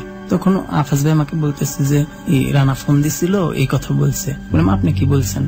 বলছি না। বললাম ও তো অফিসে গেলে তো দেখবে আমি নাই। তখন তো জানবে যে আমি কোথায় আছি। আর আমি অফিসে তো বসেদের সাথে বলে আছি। তো তখন তো জানবে। তো আপনি মিথ্যা কথা বললেন কেন? কয় তুমি ওর সাথে মিশতে পারবে না। ওর সাথে মিশতে পারবে না তুমি শুধু আমার সাথে মিশবা। জেলাস ফিল করে। হ্যাঁ। মানে হিংসা মনে হিংসা মনে করে। তখন আমি বলি যে ঠিক আছে আমি ওর সাথে মেশা আগে একটু একটু যেহেতু মিশছি দেখছে জানছে তো এখনও সহ্য করতে পারতেছে না। তখন আমি বলি যে ঠিক আছে মিশবো না। তখন ওর সাথে আমি দেখা যায় যে ও থাকা অবস্থায় ওর সাথে আমি মিশি না। ওর সাথে আবার দেখা যায় যে রাগারাগি হয়েছিল আবার মিল হয়ে গেছে। কিন্তু যখন ও দুইজনে অফিসে থাকে দুইজনে অফিসে থাকা অবস্থায় আমি আফাজের সাথে বেশি মিশি এবং ওর সাথে কথা বলি। আর ওর সাথে না কথা বলার একটা কারণ যে আফাজ ভাই জানি মনে করে যে ওর সাথে কোনো সম্পর্ক নাই। ওকে মনে হয় আমি দেখতেও পারি না ভালোবাসি না কিছুই না। এই জন্য আমি ওর সাথে মানে আফাজ ভাই থাকা অবস্থায় আমি ওর সাথে চলিও না মিশিও না। তো এরকম করার পরে দেখা যায় যে আফাজ ভাই করে কি বাসায় যায় অফিস শেষে আসে আসার পরে দেখা যায় আমরা ওই সেফটি করা ডিউটি ছিল ওদের। দেখা যায় রানা যখন আমার সাথে আসে ও এসে দেখতো যে দেখি ওরা কথা বলতেছে নাকি। জটিল আমি আমার সাথে জটিল একজনের দেখে কথা বলতে তখনও আমাকে পরে এগুলো প্রশ্ন করতো কেন কথা বলছো? কি বলছে? ওর সাথে তুমি গা ঘিসে বসছো কেন? এরকমই করতো। ওকে ও মানে সবসময় খালি সন্দেহ করতেছে। যে না বসবে না তুমি শুধু আমার কাছে বসবে আর কারও কাছে বুঝতে পারবে না। আপনি যে এতগুলো ছেলের সাথে হয়ে মিশতেন। Which is call divergent relationship বিপদগামী সম্পর্ক। এটা কি আপনার ওই ছেলেটা জানতো যে ছেলে আপনাকে নিয়ে জেলাস ফিল করছে হিংসা না। দুজনের মানে একজনও জানতো না। একটা লোক ছাড়া একটা লোক কোনোদিনও জানতো না। একটা লোক ছাড়া একটা লোক কোনোদিনও জানতো না। প্রত্যেকেই চেপে রাখতো। প্রত্যেকেই চেপে রাখতো এবং আমি কথার এমন ই করতাম আমি বলতাম যে দেখো তোমরা এখন টাকার বিনিময় করতেছো অনেক সময় তোমাদের কাছে টাকা নিয়ে সমস্যা নাই করতে পারবা কিন্তু কাউকে কিছু বলতে পারবে না। আর আমাকে দেখে আশেপাশের লোকজন কেউ আঁচ করতে পারবে না যে আমার ভিতরে কোনো পাপ আছে। এখনও অনেকেই মানে এরকম ই করে যে ছেলেরা অনেক ভালো। কিন্তু যখন ভালো বলে তখনই আমার চোখে পানি আসে যে আমি ভালো তো ছিলাম কিন্তু এখন তো নাই। আর এখন আমার যে অবস্থা মানে এটা যদি মানুষ জানতো তাহলে তো আমাকে কোনোদিনও ভালো বলতো না। ভালো বলবেও না। আমার সাথে দেখা যায় যে আফাজ ভাই খালি ঝগড়া হইতেছে এখন। আমাকে নিয়ে হিংসা করতেছে আবার আমি কার সাথে কথা বললে আমাকে সন্দেহ করতেছে। এরকম করতে করতে দেখা যায় যে কেমন জানি হয়ে যায় যে ও এত পাগল কেন আমার জন্য? মানে একটা ছেলে একটা ছেলে এত পাগল কেন? ওর তো সংসার আছে সবকিছুই আছে আমার জন্য এত পাগল কেন? আমি একটা ছেলে আমি তারপরে আমি ভালোবাসতে পারতেছি না এই কারণে যে ও আমাকে জটিল আমার একটা গিফট জটিল আমার আমার সম্পর্ক হওয়ার আগে দিত আমি মন থেকে ভালোবাসতে পারতাম। জটিল এগুলো হওয়ার পর দিছি দেখে আমি কাউকেই মানে মন থেকে ভালোবাসতে পারি না আমি খালি বলতাম যে আমার এগুলো হওয়ার জন্য একদিন আগে একটা জিনিস আমাকে একজন দিত তাহলে মনে করতাম যে না আমাকেই ভালোবাসে। কিন্তু কেউ এগুলো হওয়ার মানে আপনার শরীরকে ভালোবাসে। হ্যাঁ, আপনি যেটা। বলতে যাচ্ছেন হ্যাঁ। ওকে কি দাঁড়াল শেষ পর্যন্ত এই সম্পর্ক? এই সম্পর্ক পরে ও তো মানে দেখা যায় যে ও যে স্যালারি পাইতো সব টাকা আমার পিছে খরচ করতো। এই আফাস খরচ করতো কিন্তু ওর পাশে যাওয়া আসা করতেছি ভাবি তারপরে ও যে আমি যে ওর মেয়ে আমার মামা বলতো ভাগির আমি কিন্তু ওদের কোনোদিন খারাপ নজরে দেখতাম না। কারণ আমার একটাই টার্গেট ছিল ছেলেদের সর্বনাশ কিংবা একটা কিছু করা কোনোদিন মেয়েদের কোনো ই করতে মানে আমার কোনো ই ছিল না। তখন ওদের সাথে সম্পর্ক ওরা মানে এত ভালো জানছে আর আমাকে আফাজ ভাইও তাদের বাসায় এমন ভাবেই করছে যে আমি মানে তাদের একটা সদস্য হয়ে গেছি। কিন্তু তার সাথে যে এরকম সম্পর্ক আপনারা কোথায় করতেন এসব কাজ? এইসব কাজ ধরেন যে আফাজ ভাইয়ের তিনটা মেয়ে ছিল। বড়টা বিয়ে হয়ে যাওয়ার পরে আর যে দুটা ছিল ওই দুটা মানে স্কুলে ভর্তি করে দিছে। আর ভাবি চাকরি করতো। মানে বাসাতেই এসব? বাসাতেই ফ্যাক্টরিতে যেহেতু আমাদের লোকজন ছিল ই ছিল না। তখন ও আমাকে মানে সুযোগ পাইলেই ফোন দিত আসো। অনেক সময় বলতাম যে না। তখন দেখা যায় যে রাগ করতো কিংবা বিষ খাব কিংবা আত্মহত্যা করব এরকম করতো। আমি না ভয় পেতাম যে আল্লাহ ও যেরকম আমার জন্য পাগল আমি কিছু কর আগেই ও সবকিছু আইনে দেয় সবকিছু দেয় জুলিগুলো করে তখন তো বিপদে পড়ে যেমন সংসার আছে। আবার সংসারের তো ধ্বংস একদিকে আছে কিন্তু ও যখন বিষ খাওয়ার কথা বলতো তখন আমার ওর বাচ্চাদের কথা মনে হতো যে যদি কিছু করে বসে তিনটা মেয়ে তো ছেলে নাই ওদের ভবিষ্যৎ তো নষ্ট হয়ে যাবে। তখন আমি কি করি যে না ঠিক আছে আমি আসি। তখন ওর সাথে যাবে বাসায় এগুলো হইতো। ওকে শেষ পর্যন্ত এটা কি দাঁড়িয়েছিল? শেষ পর্যন্ত আমি যখন আমরা একই দিয়ে বাড়ি যাব আমি এক বছর পর বাড়ি যাব। ওকে। ভালো লাগতেছে যেহেতু অনেকদিন যাই না আর যেহেতু বাড়িতে যে সবার সাথে মিশতাম এখানে মিশছি মানে সব মিলে অনেক মানে ভালো লাগতেছে আর কি। আর তখন আমি কি করি ওই এর ভিতরে আবার ও মানে দিন রাত মিলে আমার সাথে যে কাজটা করতো ওইটাও মানে নিম মানে হিসাবের বাইরে চলে যাইতো। দেখা যায় যে না পাইলে পাগল হয়ে যাইতো তারপরে অনেকেই করতো। আমার ইচ্ছাগত ভাবে কমই চাইতাম কিন্তু ওই বেশি। ওই বেশি আমাকে দেখা যায় একদিন মানে আমরা, আমি কিন্তু আগে একবার বলছি আর আগে যে আমি পরিষ্কার পরিচ্ছন্নতা খুব পছন্দ করি। আমি যখন যাই করছে, আমি যা আমার আমার আর একটা কাপড় কোনোদিনও ধরি নাই। আমার সব কাপড় চোপড় কাইছে, গোসল করার পরে আমি একটা জিনিস ধরি। এরকম করতে করতে এখন দেখিও না, অসুস্থ হয় মাঝে মধ্যে। তো আমি ওকে, ও আমার সাথে এরকম করে, আমি বলি যে এত হয়ে গেছে যে ও, আমি দেখতাম যে মাঝে মধ্যে না, ও না, ওর হাত হয়ে যেত তো আমি বলতাম যে, ই ভাবি থাকতো অফিসে, তারপরে বাচ্চারা দুজন স্কুলে থাকতো, ওই অফিসে আসতো না, তখন ফোন দিলেই দেখা যায় বলতো যে, ভালো লাগতেছে না, যাব না। তখন আমি বাসায় যেতাম। যাওয়ার পরে দেখতাম যে, অসুস্থ। তখন আমি বলতাম যে, দেখেন, আপনি যে এত পাগল হন এত আমার সাথে যেগুলো এত সময় কাটান, এগুলো তো এত ভালো না। একটু কমায় করলে তো হয়। আর এত সময় দেওয়ার কোনো মানে আছে? বলে যে না আমি আমার মনে হয় যে তোমাকে না পাইলে তোমার সাথে কথা না বলে তোমার সাথে না থাকলে মনে হয় যে আমার কিছুই নাই। এরকম করতো। তখন আমি কিছু বলতাম না। তো আবার কিছুদিন পর আবার সুস্থ হইতো। আর পরে আবার দেখা যায় যে সুস্থ হইলেই আবার আমার আমাকে পাওয়ার জন্য পাগল হয়ে যেত। তখন আমি বলতাম যে মানে একটাই ছিল যে আমি সংসার নষ্ট করব। আবার একদিকে একটু একটু খারাপ লাগতো যে না করব না। কিন্তু আমি চাইতাম যে দেখি একজন জটিল ভালো পাই যে না আমাকে পরামর্শ দিতেছে এগুলো করো না। ও আমাকে বলছে যে তোমার কি আর কারোর সাথে এরকম সম্পর্ক আছে? এবং কি রানার সাথে এরকম সম্পর্ক আছে? আমি বলছি যে না আপনি ছাড়া আমার কেউ নাই। এবং কি যেই এরকম করতো আমি তাকে এই কথা বলতাম যে একমাত্র আপনি আমার প্রথম আপনি শেষ আপনি ছাড়া কেউ নাই। এইরকম আমি বলতাম সবাই তো এরকম বিশ্বাস নেই, ওরা আমার সাথে মিশতো।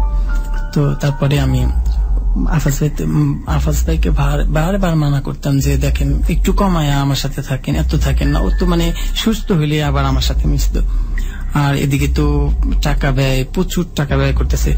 সংসারে ভাবি চাকরি করে যেগুলো রাখছে, ওগুলো আমার পিছনে খরচ করতেছে।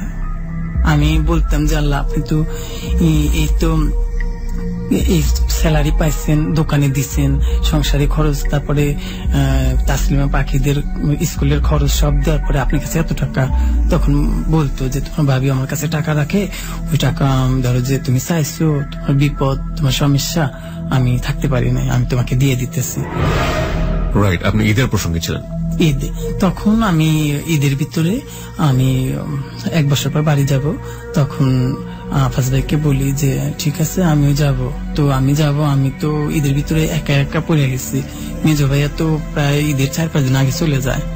তো আমাদের অফিস আবার বন্ধ হওয়ার পরে যেহেতু আমি অফিসে, আমার একটা দায়িত্ব আছে, তারপরে যাওয়া লাগবে। তো আফাজ ভাই বলে যে, যেহেতু ওর বাড়ি ছিল রাজশাহী, বলে যেহেতু আমরা একটা গাড়ি ভাড়া করছি, ওরা অনেকজন যাবে। তো আমরা তো সবাই রাজশাহী তুমি তো সিরাজগঞ্জ, আমি কড্ডে নামলে আমরা আমি যাইতে পারব। তখন আমাকে বলে যে, ঠিক আছে দেখি তোমার জন্য একটা ও আমি জানি যে আমি ওকে বললে ও আমাকে কুলি করিয়াও নিয়ে যা লাগে, ও নিয়ে যাবে। হাইটে হলেও নিয়ে যাবে যদি আমি বলি। আছে আমরা এই জায়গাটা থেকে ফিরে এসে পরিণতির জায়গাটিতে যেতে চাই যে এই ধরনের অসুস্থ, অস্বাভাবিক এবং গুনাহের সম্পর্ক এবং অস্বাভাবিক রকমের শারীরিক সম্পর্ক এটা লিপ্ত হন। ব্যভিচার, যেটাকে আমরা বলি, এই ধরনের কাজে লিপ্ত হন। তারা শেষ পর্যন্ত কতটা অসুস্থ মানসিকতা সম্পন্ন মানুষ হয়ে থাকেন, সেটার উদাহরণ আমরা দেখার চেষ্টা করব। এবং কি ধরনের প্রবলেমে পড়তে পারেন, সেগুলো নিয়ে আমরা কথা বলব আজকে আমাদের সঙ্গে যিনি আছেন, জাতীয় মানসিক স্বাস্থ্য ইনস্টিটিউটের প্রফেসর ডক্টর তাজুল ইসলাম, তিনি পুরো বিষয়টি শুনছেন, তিনি তার মতামত জানাবেন, পুঙ্খানুপুঙ্খ বিশ্লেষণ তিনি করবেন। তার মতামতগুলো আপনারা খুব মনোযোগ দিয়ে শুনবেন, এটা খুবই গুরুত্বপূর্ণ। আমরা ফিরে আসছি ঠিক রাত একটার টাইম চেক হবার সঙ্গে সঙ্গে, আর আজকের এই অতিথি যিনি আছেন, মতিন, তাকে যদি আপনি দেখতে চান, চলে আসতে পারেন আমাদের ফেসবুকে আমাদের ফেসবুকের ঠিকানা W W W dot Facebook dot com slash ABC radio F M eighty nine point two আমি আবারও বলছি W W W dot Facebook dot com slash ABC radio F M eighty nine point two ওখানে গিয়ে like দেবার সঙ্গে সঙ্গে আপনি ABC রেডিওর মেম্বার হয়ে যাবেন এবং একই সাথে ওখানে যে পেজটির লিঙ্ক দেওয়া আছে, ওই লিঙ্কে গেলে আপনি মতিনের ছবিটা দেখতে পাবেন এবং একই সাথে আপনি ওই পেজটিরও মেম্বার হয়ে যেতে পারেন। আমরা ফিরে আসছি ঠিক রাত একটায়।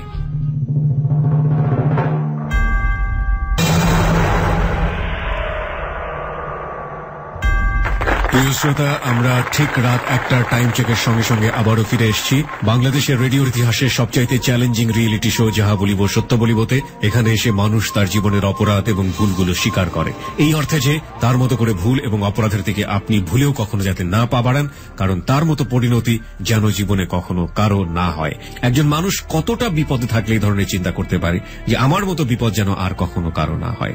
তাহলে বুঝতেই পারছেন যে, যাহা বলিব সত্য বলিবতে যারা আসেন, তাদের কোনো রিটার্ন নেই আপনাদের কাছ থেকে। তারা প্রচণ্ড রকম ভৎসনা, তারা প্রচণ্ড রকম গালি প্রচণ্ড রকম স্ল্যাং আপনাদের কাছ থেকে বিভিন্ন রকমের বিরূপ আচরণ পেয়ে ফিরে যান। তাদের মনে কোনো কষ্ট নেই আপনাদের জন্য। এই অর্থে যে আপনি অনেক বেশি খারাপ ব্যবহার করেছেন। বরং মনে কষ্ট পাবে তখনই যদি তার মতো করে আরেকজন মানুষের জীবন সে সমাজে দেখে। এবং সে চায় না তার মতো পরিণতি কখনো কারও হোক। কারও কান্নার শব্দ হয়তো আপনি শুনতে পান এথারের এপাশ থেকে ফুপিয়ে ফুপিয়ে কাঁদেন, আপনি উপাস থেকে শুনতে পান।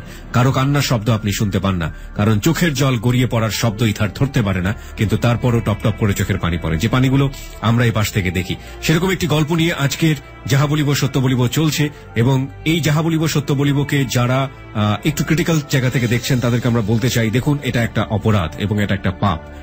আমাদের সমাজ এবং আমাদের ধর্ম যাই বলি না কেন, কোনোভাবেই এই ধরনের সম্পর্ককে কোনোভাবেই সমর্থন করেন না এবং এগুলো ব্যক্তিগত পর্যায় থেকে শুরু করে পারিবারিক পর্যায় থেকে শুরু করে সামাজিক পর্যায়ে বিভিন্নভাবে এগুলো আমাদের মনোজাগৃতিক যে বৈকল্য, আমাদের যে সামাজিক পরিস্থিতি সেটার সাথে কোনোভাবেই ম্যাচ করে না এবং সেই জায়গাটি থেকে এই ধরনের সম্পর্ক একজন ব্যক্তি মানুষের জীবনে, পারিবারিক জীবনে, সামাজিক জীবনে, ধর্মীয় জীবনে কত বড় বিপদ ডেকে আনতে পারে, সেটার উদাহরণ আজকে আমরা এখানে রাখার চেষ্টা করছি। এবং একইভাবে একজন মানুষ যখন এই সম্পর্কে জড়িয়ে যায়, সেটা আসলে ইচ্ছাকৃত থাকে নাকি অনিচ্ছাকৃত, সেটার বাস্তব উদাহরণও আজকে আমরা ব্যাকগ্রাউন্ডে তুলে ধরেছি। আমরা চলে যেতে চাই আমাদের অতিথির কাছে, তারপরে তার বাকিটুকু আমরা জানব, পরিণতির দিকে যাব। তবে তার আগে আপনাকে আরও একবার বলছি যে প্লিজ আজকের যিনি সাইকিয়াট্রিস্ট রয়েছেন, ডক্টর তাজুল ইসলাম, তার কাছ থেকে এই পুরো অনুষ্ঠানটি নিয়ে তার যে বিশ্লেষণাত্মক মন্তব্য, সেটা আপনি অবশ্যই শুনবেন। আমরা একেবারে অনুষ্ঠানের শেষে তাকে ফোনে ধরবো, তিনি আমাদেরকে শুনছেন। আর প্রিয় শ্রোতা, মতিনকে যদি দেখতে চান, চলে আসতে পারেন আমাদের ফেসবুকে আমাদের ফেসবুকের ঠিকানা W W W dot Facebook dot com slash ABC radio F M eighty nine point two okay Matin, যে জায়গাটিতে আমরা ছিলাম। তো ভাইয়া, আমি আফাজ ভাইয়ের সাথে যে আমি যে কাজগুলো করছি ওই সময় আসলে যে এইস হওয়ার যে একটা আক্রান্ত হওয়ার যে একটা ই থাকে ওগুলো যে কোনো ব্যবস্থা মানে ওগুলার কোনো ইয়ে ওগুলা আমিও ইচ্ছা করে বলতাম না ও চাইতো না। মানে আপনি যখন আফাজের সাথে এই ধরনের সম্পর্কে জড়াতেন সেই সম্পর্ক পুরোপুরি অনিরাপদ হ্যাঁ হ্যাঁ কোনো নিরাপত্তের কোনো ব্যবস্থাই আমরা নিতাম না। কারণ আমি একটা জিনিস ভাবতাম যে ছেলে ছেলে। তারপরেও একটা জিনিস এখন বুঝতে পারছি যে যে তখন আসলে কি ইগুলো করছি। এখন আমি বুঝতে পারতেছি যেহেতু এটা আমরাও বলছিলাম আমাদের শ্রোতাদেরকে ও কেন বলছে এই কথাটা কি বুঝতে পারছে এবং শেষের দিকে আমরা শেষের দিকে যাব। আমরা যে একটু আবিষ্কার করতে চাই যে ঘটনাটা শেষ দিকে গিয়ে কি হয়েছে। ওকে তারপরে কি হলো? তারপরে এই তো এরকম তারপরে আমরা বাড়িতে যাওয়ার প্ল্যান করি। তো আমি ওকে আফাজ ভাইকে বললাম যে আমি বাড়ি যাব তো আমি তো একা পড়ে গেছি আমাকে ব্যবস্থা করেন না তখন বলে যে ঠিক আছে আমি ব্যবস্থা করব তুমি নিশ্চিত চিন্তা করো না। তখন আমি আমাকে বলে যে আজকে রাত দশটার দিকে আমাদের গাড়ি ছাড়বে তুমি রেডি হয়েও। তখন আমি অফিসে আমার যেহেতু যে একটা দায়িত্ব আছে সবকিছু আমি স্যারদের বলি। বলার পরে আমি তাদের সাথে যাওয়ারই করি আফাজ ভাইদের সাথে। তো বাসায় যাই তারপরে ভাবি অনেক কিছু মানে আচার বানায় তারপরে অনেক কিছু বানায় যে গাড়ির ভিতরে অনেক যেহেতু ঈদের ভিতরে গেলে তো জানিনি তো অনেক জ্যাম হয় গাড়ি তো বানায় নিয়ে যায় কিন্তু যাওয়ার পরে ও প্রথমেই না আমাকে বলে যে জানো কতদিন তোমার এখানে থাকছি? বাড়িতে গেলে সাত আট দিন বাড়িতে থাকব ভালো লাগবে না তোমার সারা আর আমার জন্য আমাকে বলছে যে আর কিছু মানে আমরা যে একদম একদম সবকিছুই করে বাড়ি বাসা থেকে বাইরে হচ্ছি তখন আমাকে বলতেছে তোমার কিছু লাগবে নাকি? ও কিন্তু মানে ওর সর্বোচ্চ মানে ওর ওয়াইফের যে ইনকামের টাকা ওর যে টাকা সব কিন্তু আমার কাছে খরচ করছে। তারপরে মানে আমরা বাসাতে আমাকে বলতেছে কি লাগবে? তখন আমি ওকে একটা বলছি আমাকে একটা বরিস কিনে দেন। তখন আমাকে সাথে সাথে বাসাতে বাইরের পর দেখি যে ও আমাকে দোকান থেকে ওটা এনে দিচ্ছে তো আমরা যখন গাড়িতে উঠবো তখনও আমাকে বলে যে আমার ভালো লাগতেছে না। কেমন? মানে ওই যে মাঝে মাঝে যে অসুস্থ হইতো আমি তো ওকে মানা করতাম যে এই যে অসুস্থ হতো সে মাঝে মাঝে কি হতো? জ্বর হয়ে পড়ে থাকতো হাত পা ঠিকমতো কাজ করতো না। না জ্বরটা খুব না কিন্তু হাত পা অবশ্য যেত হাত পা মানে ও নাড়াইতেই পারতো না ওর কোনো শক্তি ছিল না। ওকে। ওর ভিতরে কোনো শক্তি এই সময়টা কি ওষুধ খেলেও ভালো হতো না? ওষুধ খেলে ধরেন যে তাও চার পাঁচ দিন পরে। এটা ডাক্তারে যেহেতু ও অনেক মোটা ছিল তারপরে ডাক্তারে বইলে একটা কিছু ওর ওয়াইফ অনেক ভয় পাইতো যে এখন যদি আমার স্বামীর কিছু হয়ে যায় তো আমার তিনটা মেয়ে ডাক্তারের কাছে যেত না? হ্যাঁ যেত। ডাক্তার কি বলেছে ডাক্তার কি বলতো এটা আমি জানতাম না ও যাইতো ও ভালো জানে। ও আপনাকে কখনো বলতো না? আমাকে বলতো না আমি বলতাম যে আচ্ছা আপনি ডাক্তারের কাছে গেলেন ডাক্তার আপনাকে কি বলল? বলল যে বলছে যে ওষুধ খালি সেরা যাবে। ওকে। তো আমি তখন বলতাম যে মানে ও একটা জিনিস আমার খারাপ লাগতো যে হিসাব আমার এখনও মনে হয় না যে ওর সাথে আমার কতবার এগুলো হয়েছে। বুঝতে পেরেছি। হ্যাঁ, হ্যাঁ। তারপর? তারপরে আমি গাড়িতে ওঠার আগেও আমাকে বলে যে আমার হাত পা ওইরকম হইতেছে মানে যেরকম হয় মাঝে মধ্যে। তখন আমার আমার সাথে ওগুলো করার পরেই ওর এগুলো সমস্যাটা হয়। আমি বাবির কাছে পরে শুনছি যে এগুলো আগে অতটুক হইতো না। মানে একটু কিন্তু আমার সাথে ওগুলো করার পরে বেশি। তো গাড়িতে ওঠার আগেও আমি বলি যে তাহলে আপনি ট্যাবলেট কেনেন। তো আমি আবার জার্নি করতে পারি না। আমার জন্য ট্যাবলেট কেনে যে যেহেতু বমিটা না হয় গাড়িতে ও ওর জন্য ওর যে হাত পা ব্যথা ব্যথা করতেছে আমি বুঝতে পারছি যে ওর সমস্যা হয়ে যাবে। গাড়িতে যাওয়ার পরে। তখন দুজনেই ট্যাবলেট ও খায় ওর সমস্যার জন্য আমি খাই। খাওয়ার পরে আমরা গাড়িতে উঠি ওঠার পরে আমরা বাড়িতে আমি আমাদের বাড়িতে সিরাজগঞ্জ কড্ডা যেতে প্রায় ভোর সাতটা বাজে। ওকে। তো তারপরে এরকম মানে সারা রাস্তা যাই যাওয়ার পরে তো দুজনে তো মানে সবাই সিটে সিটে যার যার মতো একটু করে ঘুমাইছে যেহেতু সারা রাত তো আমরা গল্প করি। আরও আমাকে বলতেছে জানো পাঁচ সাত দিন থাকব এরকম ভালো লাগবে না। আমি না তখন অতই করতেছি না কেয়ার করতেছি না সমস্যা কি? আমি কোনো ই ভাবতেছি না। তখন আমি বাড়িতে কড্ডায় নামি নামার পরে দেখি যে ও তখন আমাকে মানে ঈদের যে সালামিটা তখনও মানে সবকিছুই দিতেছে। সবকিছু আমাকে ওই দিয়ে একটা সাদা শার্ট বানায় দিছে তারপরে একটা প্যান্ট বানায় দুইটা প্যান্ট বানায় দিছে তারপরে একটা সাদা লুঙ্গি কিনে দিচ্ছে মানে আমার সবকিছু দেওয়ার পরে মানে আরও দিতে এসে তখন আমি আমার বাড়িতে কড্ডায় নামি, নামার পর দেখি যে ও না, গাড়িতে যে জানলা জানলা দিয়ে তাকায় রয়েছে। তখন আমি নামার পরে ওর দিকে তাকাই। তাকানোর পরে আমার তখন একটু না ওর প্রতি খুব টান লাগে যে ও মনে আমার খুব ভালোবাসে। যদি আমাকে নাই ভালোবাসতো তাহলে এত কিছু দেওয়া। একটা জিনিস বুঝতে পারছি যে মানসিক ভাবেও আপনার তার সাথে এক ধরনের অ্যাফিলিয়েশন করে উঠেছে। ওকে আমরা সামনের দিকে চাই তারপর? হ্যাঁ তারপরে আমি বাড়িতে আসি আসার পরে প্রায় বাড়িতে আসার বিশ পঁচিশ মিনিট পরে ও আমাকে বলে যে বাড়িতে যাওয়ার পরে ফোন দিবা। আমি আমার ওটা আবার খেয়াল থাকে না। বাড়িতে যাওয়ার পরে আমার সমবয়সী বন্ধুদের ওদের পারে আমি ওগুলো ভুলে যাই। ওকে। তো তখন দেখি যে আফাজ ভাই আমাকে ফোন দিচ্ছে দেওয়ার পরে বলে যে কি ব্যাপার বাড়িতে গেছো আর আমাকে ভুলে গেছো? বললাম যে না ভুলি নাই ফোন দিব তো পরে দিব নে। পরে বলে যে কথা বলে। বলার পরে পরের দিন ঈদ। ঈদ ঈদের দিন সারাদিন খুব আমরা অনেক আনন্দ করছি। যেহেতু কুরবানির ঈদ অনেক আনন্দ করছি। তো সারাদিন আনন্দ করার পরে রাতে আটটার দিকে বাড়িতে ফেরার পরে আমার ফোনে আফাজ ভাইয়ের নাম্বারটা ফোন আসলো যে ভাবি ফোন দিছে যে মতিন কই আছো? যে ভাবি বাড়িতে। বলে যে তোমার ভাই তো অসুস্থ তো আমরা নাটোর হাসপাতালে নিয়ে আসি। ওকে তখন আমি বলি যে ভাবি কি করব? বলে যে তোমাকে ওই দেখতে চায় খালি তোমার কথা বলতেছে। তে ভাই একটু আসো না। তোমার তো অনেক ভালোবাসি জানি। তোমার সাথে যে সম্পর্ক ছোট ভাইয়ের মতো ভালোবাসি তুমি আসো। খালি তোমার কথা বলতেছে। তারপরে আমি মাকে বলি যে মা কি করি? যে ঠিক আছে যাও সমস্যা নেই। তো তারপরে আমি সকাল হয় ঈদের পরের দিন তো আমি সকালে মা নামাজ পড়ে। পরে মাকে বলি যে মা চলো না যাই তুমিও যাও আমিও যাই। আমি আবার রাজশাহী যাওয়া হয় না হুম, হুম। তখন মা বলে যে, ঠিক আছে, যাব। তখন কি করে, মার সাথে দুইজন বাইর হই, আমি, মা দুইজন যাই। যাওয়ার পরে আমাদের ওখানে সাজাদপুর হয়ে ওইদিকে যাইতে হয়। তো সাজাদপুর যাওয়ার তখনই আফাজ ভাইয়ের যে ছোট বোন আছে, ওনা ফোন দেয় যে, মতিন, ও তো অবস্থা খুবই খারাপ। তো আমরা ওকে নাটোর থা ওকে রাজশাহী মেডিকেল কলেজে নিতেছি। তোমরা রাজশাহী চলে আসো। পরে আমি, আমার মা দুইজন রাজশাহী মেডিকেল কলেজ হাসপাতালে যাই। পরে ওখানে গেলাম। আমি যা ওর দিকে তাকাইলাম, ও আমার দিকে তাকাইলো দেখি যে ওর চোখে পানি। তখন আমি অনেক খারাপ লাগছে যে আমি ভাবতেছি যে এরকম অসুস্থ আমার সাথে মেশার পরেই। আর এরকম তা আগে এরকম হইলেও এতটুকু হইতো না। তো আমি কি অনেক ভুল করলাম? এরকম ই করছি। তো তারপরে আমি অনেক ই করতেছি, ওর কাছে রয়েছি কিন্তু কথা বলতে পারতেছে না। আমরা যাওয়ার পনেরো বিশ মিনিট আগে ওর কথা ই মানে বন্ধ হয়ে গেছে। কথা বলতে পারতেছেন কিন্তু ও ইশারা করে বুঝাইতেছে যে ওর হাতটা পাটা মানে নাড়াচাড়া করা দেওয়ার জন্য বলতেছে। তো আমরা দিতেছি এরকম দেওয়ার পরে এখন ডাক্তার বলতেছে যে ও ও ছটফট করতেছে। তো তখন আমি নার্সের সাথে আমি ওখানে একটু ঝগড়া করি যে কি ব্যাপার আপনারা রুগী রেখা এরকম করতেছেন রুগীটার একটু দেখেন না। তো বলে যে, কি দেখব? দাঁড়াও, একটা ইঞ্জেকশন লিখে দিয়ে এটা নিয়ে আসো। তখন একটা ইঞ্জেকশন লিখে দেয়, দেওয়ার পরে আমি ওই ইঞ্জেকশনটা আনার জন্য যাই। আসার পরে ওই ইঞ্জেকশনটা ডাক্তারে আফাজ বাইরে দেয়। দেওয়ার পরে তখন দেখা যায় যে, আফাজ ভাই তখন মানুষের মানে অবসতা তো ছিলই। তারপরে এমন হয়েছে যে মানে চায়ের হাত পাও মানে এখন একটু নাড়াইতেও পারতেছে না। শক্তি তো নাই মানে নাড়াইতেও পারতেছে না, হাত পা। তখন আমি বেডের পর উঠি, উঠে ওর মাথাটা আমার বুকের পর নেই। নেওয়ার পরে আমি আর রাখতে পারি না। অনেক ভারী মানুষ তো, রাখতে না পেরে বেডের পর আবার ওকে রেখে দিই। দেওয়ার পরে এখন ধীরে ধীরে এখন নিঃশ্বাসটা কেমন জানি ওর। মানে এমন যে জোরে জোরে নিঃশ্বাস নিতেছে।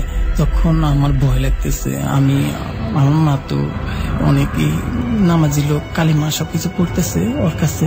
আমিও পড়তেছি।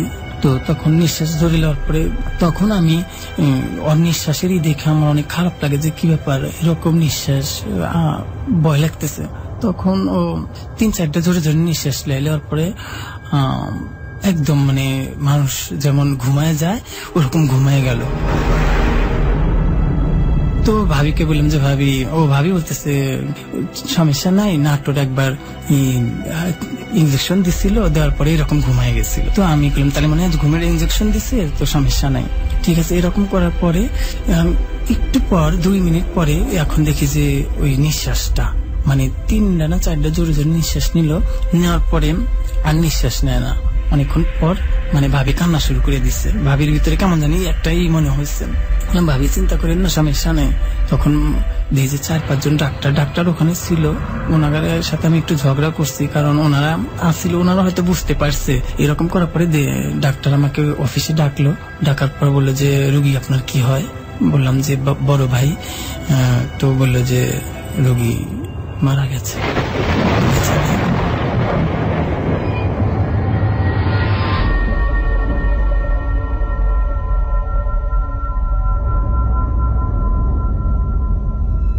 তো তখন আমি ডাক্তার যে আমাকে অফিসে নিয়ে বলছে তখন আমি অফিসতে মানে আমার মনে হইতেছে যে সব দুনিয়া সবকিছু ভাঙ্গে আমার মাথার পর পড়ল। মানে আমি এই কথাটা শোনার পরে যে কি হইল আমি আমি তো এরকম আশা করিনি আমি তো এরকম চাই নাই। তো তারপরে আমি ওখান থেকে বাইর হই হওয়ার পরে ডাক্তার বলল যে এখন লাশ নেওয়ার ব্যবস্থা কত সালে এটা? এটা দুই হাজার এগারো সাল। দু হাজার এগারো সালে। দুই হাজার এগারো সাল আটই নভেম্বর। এই ঘটনা যে ঘটেছিল ওনার রোগটা সম্পর্কে ডাক্তার কিছু বলেছিল ওই মুহূর্তে? ডাক্তার বলতে ওখানে ওর বাইরে ওরকম কিছু বোঝে না জানে না। আমিও ওরকম তখন তাদের সাথে কোনো মানে রোগ নিয়ে কথা বলা কিংবা ওনারা যে রিপোর্টটা করছিল কোনো কিছুই আমরা ওখান থেকে আনছি না কি করছি এটা আমাদের কারোরই মনে নাই। মানে এটা আপনার রোগটা সম্পর্কে কোনো কিছুই আমাদের শুধু এটা জানেন যে আপনার সঙ্গে ধরনের সম্পর্ক জানানোর পরে সেই ধরনের রোগটা ফ্ল্যাশ হয়েছে। ওকে এর পরবর্তীতে আপনি আফাস্ত আফাস তো চলে গেল আপনার জীবন থেকে। এর পরবর্তীতে আপনি র্যান্ডামলি ছেলেদের সাথে ভাবে মিশেছেন। হ্যাঁ তারপরেও মানে মিশেছি যে এই জন্য যে আফাস ভাই এত ভালোবাসতো ও নাই তো আপনি ছেলেদের মধ্যে ভাবে ভালোবাসা খুঁজে বেরিয়েছে হ্যাঁ খুঁজে বেরিয়েছি। ওকে যে দেখি পাই নাকি একজন ভালো মানুষ। কিন্তু আপনার কখনো কেন মনে হয়নি যে একটা মেয়ের ভিতরে তো থাকতে পারে জিনিসটা? মেয়েদের সাথে তো আপনি চেষ্টা করতে পারতেন। হ্যাঁ আপনার কি ন্যাচারালি আসেনি? না ন্যাচারালি ভাইয়া এরকম কোনো কিছু আসেনি। আমি চাইছি যে ছোট থেকে যেহেতু এদের সাথে আমি এরকম পাইতেছি আমি চাই এদের ভিতরে একটা বন্ধুত্ব দেখুন আমি আমি একটা জিনিস বলি। আপনি যে কাজটা করছেন সেটা তো একটা অস্বাভাবিক আচরণ। সেটা আপনি বোঝেন সেটা একটা অন্যায় আচরণ। আপনি যদি ধর্মকর্ম করেন সেজন্যই বলছি। এবং ধর্মকর্মের জায়গা থেকে এটা একটা কঠিনতম পাপ। আপনার কখনো মনে হয়নি যে আপনি একজন ডাক্তারের কাছে যাবেন? আপনি একজন সাইকিয়াটিস্টের কাছে যাবেন, একজন ডাক্তারের কাছে যাবেন, যাই মনে করেন না কেন, গিয়ে এই প্রবলেমগুলো খুলে বলবেন এবং তারা আপনাকে সাহায্য করবে। মনে হয়েছে ভাইয়া আফাজ ভাই মারা যাওয়ার পরে আমি আরও বেশি ক্ষিপ্ত হয়ে যাই। যাওয়ার পরে এখন আমার যে অবস্থা, আমার ব্লাড জ্বরে প্রতিনিয়ত এটা হচ্ছে। হ্যাঁ হচ্ছে এখন কিছুদিন আগে আমি ডাক্তারে শুধু এভাবে বলছিলাম যে আমার ব্লাড হয়। আমাকে ডাক্তার বলছিল যে কীভাবে হয় কি কারণে? কারণটা বলতে পারি নাই। ওনা আমাকে কিছু ট্যাবলেট দিছিল দেওয়ার পরে তারপরে ডাক্তারের কাছে গিয়েও বিষয়- বিষয়টি আপনি গোপন করেছেন? হ্যাঁ। ডাক্তারের কাছে কি কেন গোপন করেছেন? ডাক্তারের কাছে তো কোনো কিছু গোপন করতে হয় গোপন করতে আমার অনেক লজ্জা লাগছে অনেকই লাগছে যে আমি বলব না। আমি যদি মারা যায় আমার যদি কিছু হয়ে যায় যাই সমস্যা নেই আফাজ ভাই চলে গেছে আমি যাব। আমার বেঁচে থাকার কোনো দরকার নাই। এই মনে করে আমি এখনও মানে কাউকে কিছু বলি না এবং কি বলার আপনার কি কোনো অসুখ টসুখ হয়? হ্যাঁ অসুখ বলতে আমি দেখা যায় রাত অনেক রাতে গোসল করতাম। করার পর আমার এখন ঠান্ডার একটু প্রবলেম হয়েছে। এগুলো কি ওষুধ দিলে সারে? ওষুধ দিলে সারে বলতে অনেক সময় বলতে ধরেন ওষুধ খাইলে সেরে যায় হ্যাঁ। আবার ওষুধ না খাইলে এটা থেকে যেতেছে আচ্ছা। আমি তখন বুঝতেছি যে হয়তো ঠান্ডার এসে যেমন যক্ষা কিংবা এরকম একটা রোগ আছে না আমি হয়তো মনে করি যে হয়তো সবার সাথে এরকম করার পরে আমি যে নিয়ম অনিয়মে গোসল করছি তারপরে হয়তো আমার এই জন্য আমার এই ঠান্ডাটা হয়েছে আর এটা আপনি মনে করেন? আমি মনে করি। কদিন পর পর আপনি অসুস্থ হন? অসুস্থ এখন ধরেন যে আমি অসুস্থ থাকি আমি কাউকে বুঝতে দিই না আমি আমার চলাফেরা আমার সবকিছু ই করে রাখি আমি এখন সব সময় অসুস্থ। আপনি সবসময় র্যান্ডামলি অসুস্থ। আপনার এইডস সম্পর্কে কোনো ধারণা আছে? এটা আমি শুনছি ই করছি কিন্তু আমি কোনোদিন এটা আমার নিজের থেকে পরীক্ষা করে মানে পরীক্ষা করিও নি এবার জানিও না। আপনি যদি কেউ পরীক্ষা করে আপনি পরীক্ষা করবেন? ধরেন আপনার শরীরে এইডস এর জীবাণু আছে কিনা? এইডস এর জীবাণুটা হচ্ছে এইচআইভি ভাইরাস যেটার অপর নাম হচ্ছে ডেথ মৃত্যু। আপনি পরীক্ষা করবেন? এখন আমি এখানে জাস্ট টু বি অনেস্ট আপনি পরীক্ষা করবেন আর করবেন না? হ্যাঁ আমি করতে চাই কারণ আমি বাঁচতে চাই। আমি এতদিন দুনিয়ায় থেকে একটা ভালো বন্ধু পাই না কিছু পাই আমি শুধু আপনাদের এই প্রোগ্রাম শুনে আমি এই প্রোগ্রামকেই বন্ধু ভাইবে নিছি। আমাকে যদি এখনও যদি একটা মানুষ যদি একটা ছেলে মানুষ যদি আমাকে বন্ধুর মতো করে দেখে চলে এখনও আপনি একটা ছেলে মানুষকে চিন্তা করছেন? হ্যাঁ। কারণ আপনি চিন্তার জায়গা থেকে কোনোভাবেই চিন্তা করতে পারেন না। না এখনও যদি একজন আমাকে ওরকম ভালোবাসে আমি আমার মনে হয় যে আমি পারব ভালো হইতে। আর যদি না পারি আমি প্রতীক্ষা করছি যে আপনাদের এখান থেকে বাইরে হওয়ার পর আমি যাদের সাথে ফোনে যে মেয়েদের মতো করে কথা বলা আপনি মেয়েদের সাথেও এরকম করে কথা হ্যাঁ, বলেছেন। ছেলেদের সাথে মেয়ে কণ্ঠ দিয়ে কথা বলছি। কথা বলে কি করেছেন? ওনাদের এখন একজনের সাথে প্রায় আড়াই বছর তিন বছর ধরে সম্পর্ক আছে। হ্যাঁ। ওনাকে আমি জান বলে ডাকি ওনা ওনা আমাকে দুষ্ট বলে বলে ডাকে। হ্যাঁ। ওনার সংসার আছে। কি করেন? আপনি কথা বলে কি করেছেন? আমি মানে মেয়েদের মতো করে কথা বলতাম। আহ, দেখা যায় যে সব সময় দিন রাত অনেকবার ফোন দেয় এবং কি আমার ফোনে ব্যালেন্স দেয়। জানতো না যে আপনি ছেলে? না। আমি আমি অনেক সময় ফোনে কথা বলে হাসতাম মানে কাটা দিয়ে যে কি বোকা? ও কি একটু আস করতে পারে না যে আমি ছেলে? ওকে আপনি তার মানে এক ধরনের চিট করতেন। হ্যাঁ। এবং যেটা আপনি র্যান্ডামলি করেন এখনও করেন? এখনও এখন ধরেন যে আমি প্রতিজ্ঞা করছি যেদিন এফ এম এফ এম এ যাব সেদিন কাছে আমার সবকিছু বাদ হয়ে যাবে। তার মানে আপনি এখন পর্যন্ত এই অপরাধগুলোর মধ্যে হ্যাঁ, আছেন। হ্যাঁ, এখনও। আপনার ছেলেদের সাথে শারীরিক সম্পর্ক হ্যাঁ, আছে। দেখুন আপনি যদি এখানে ওয়াদাও করে যান মতিন আমরা বিলিভ করব না যে আপনি রাতারাতি এটা থেকে পরিবর্তন হয়ে আসতে পারবেন। কারণ আপনার মেন্টাল জায়গা থেকে বলেন, আপনার অনেক বড় একটা কাউন্সিলিং এর দরকার এই জায়গা থেকে ফিরে আসার জন্য। এবং সেই কাউন্সিলিংটা আপনি যেটা মনে করছেন যে একটা ছেলে আপনার জীবনে যদি বন্ধুর মতো হয়ে আসে তাহলে সে হেল্প করবে। It will not be like this আমার যেটা মনে হয় আমার সাধারণ জ্ঞানে যেটা বলে। এটা এই কাউন্সিলিং এর জায়গাটা আসলে কেমন? সেটা আজকে যিনি আমাদের এক্সপার্ট প্যানেল থেকে রয়েছেন ডক্টর তাজুল ইসলাম তিনি বলতে পারবেন যে আসলে এটা থেকে আমরা বের হয়ে আসার জন্য একটা ছেলে কিংবা একটা মেয়ে আসলে কি করতে পারে। এই ধরনের বিপদগামী সম্পর্ক থেকে বের হয়ে আসার জন্য। এই যে আপনি এই ধরনের সম্পর্কের মধ্যে আছেন আপনি নিজে থেকে আপনার কোনো ভবিষ্যৎ দেখতে পারেন? ভবিষ্যৎ দেখতে বলতে আমি থাকেন একটা ছেলের তো স্বপ্ন থাকে যে আমার একটা সংসার হবে আমার একটা হ্যাঁ, ছেলে মেয়ে হবে আমার প্রতিনিয়তই ভাইয়া এই স্বপ্নটা আছে। কিন্তু আমি চাই একটা ভালো বন্ধু পাওয়ার পরে আমি এই স্বপ্নগুলো দেখব। আপনি ভালো বন্ধু পাওয়ার পরে কীভাবে আপনি স্বপ্নটা দেখবেন আমি- আপনি ভালো বন্ধু কেন মেয়েকে চিন্তা করছেন না? আমি করতে পারতেছি না আমাকে একজন পরামর্শ দিছে যে দেখো না তুমি মেয়েদের সাথে কথা বলো মেয়েদের সাথে চলে দেখো কেমন তুমি পারো কিনা? মানে ছেলেদের ভুলে যেতে পারো কিনা ছেলেদের সাথে এরকম করছ মেয়েদের সাথে তুমি ভালো ব্যবহার করে তাদের সাথে বন্ধু বানায় নাও কিন্তু আমার মনে থেকে ওরা আসে না।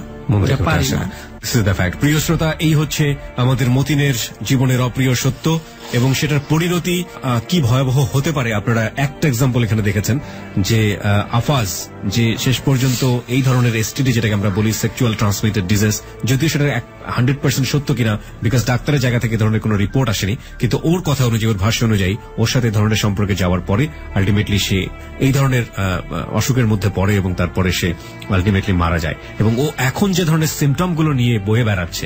আমরা শুধু এটাই এখানে সবচাইতে বড় এমফাসিস দেবার চেষ্টা করেছি যে যারা এই ধরনের সম্পর্কে জড়ান, তারা কাদের সাথে মেশেন? ওর শরীরে এখন যে ধরনের সিমটমগুলো আছে, সেই ধরনের সিমটমগুলো একদম চোখ বন্ধ করে বলা যাবে না because I am not a physician আমার জায়গা থেকে আমি চোখ বন্ধ করে বলতে পারব না এগুলো এসটিডি কিনা। কিন্তু এগুলো এসটিডি হতে পারে, সেগুলোর আলামত ওর শরীরে প্রচণ্ড ভাবেই আছে এবং কারণ লম্বা সময় ধরে ও অনিরাপদ সম্পর্কের মধ্যে আছে এবং যেটা কোনোভাবেই সমর্থনযোগ্য, নৈতিকভাবে তো নয়, সামাজিকভাবে কোনোভাবেই সমর্থনযোগ্য সম্পর্ক নয়। আমরা শুধু এটাই বলতে চেয়েছি যে এই ধরনের সম্পর্কে যদি আপনি যান, সেটা আপনার জন্য কত রকমের বিপদগামী হতে পারে, সেটার একটা বেস্ট এক্সাম্পল হচ্ছে আজকের মতিন।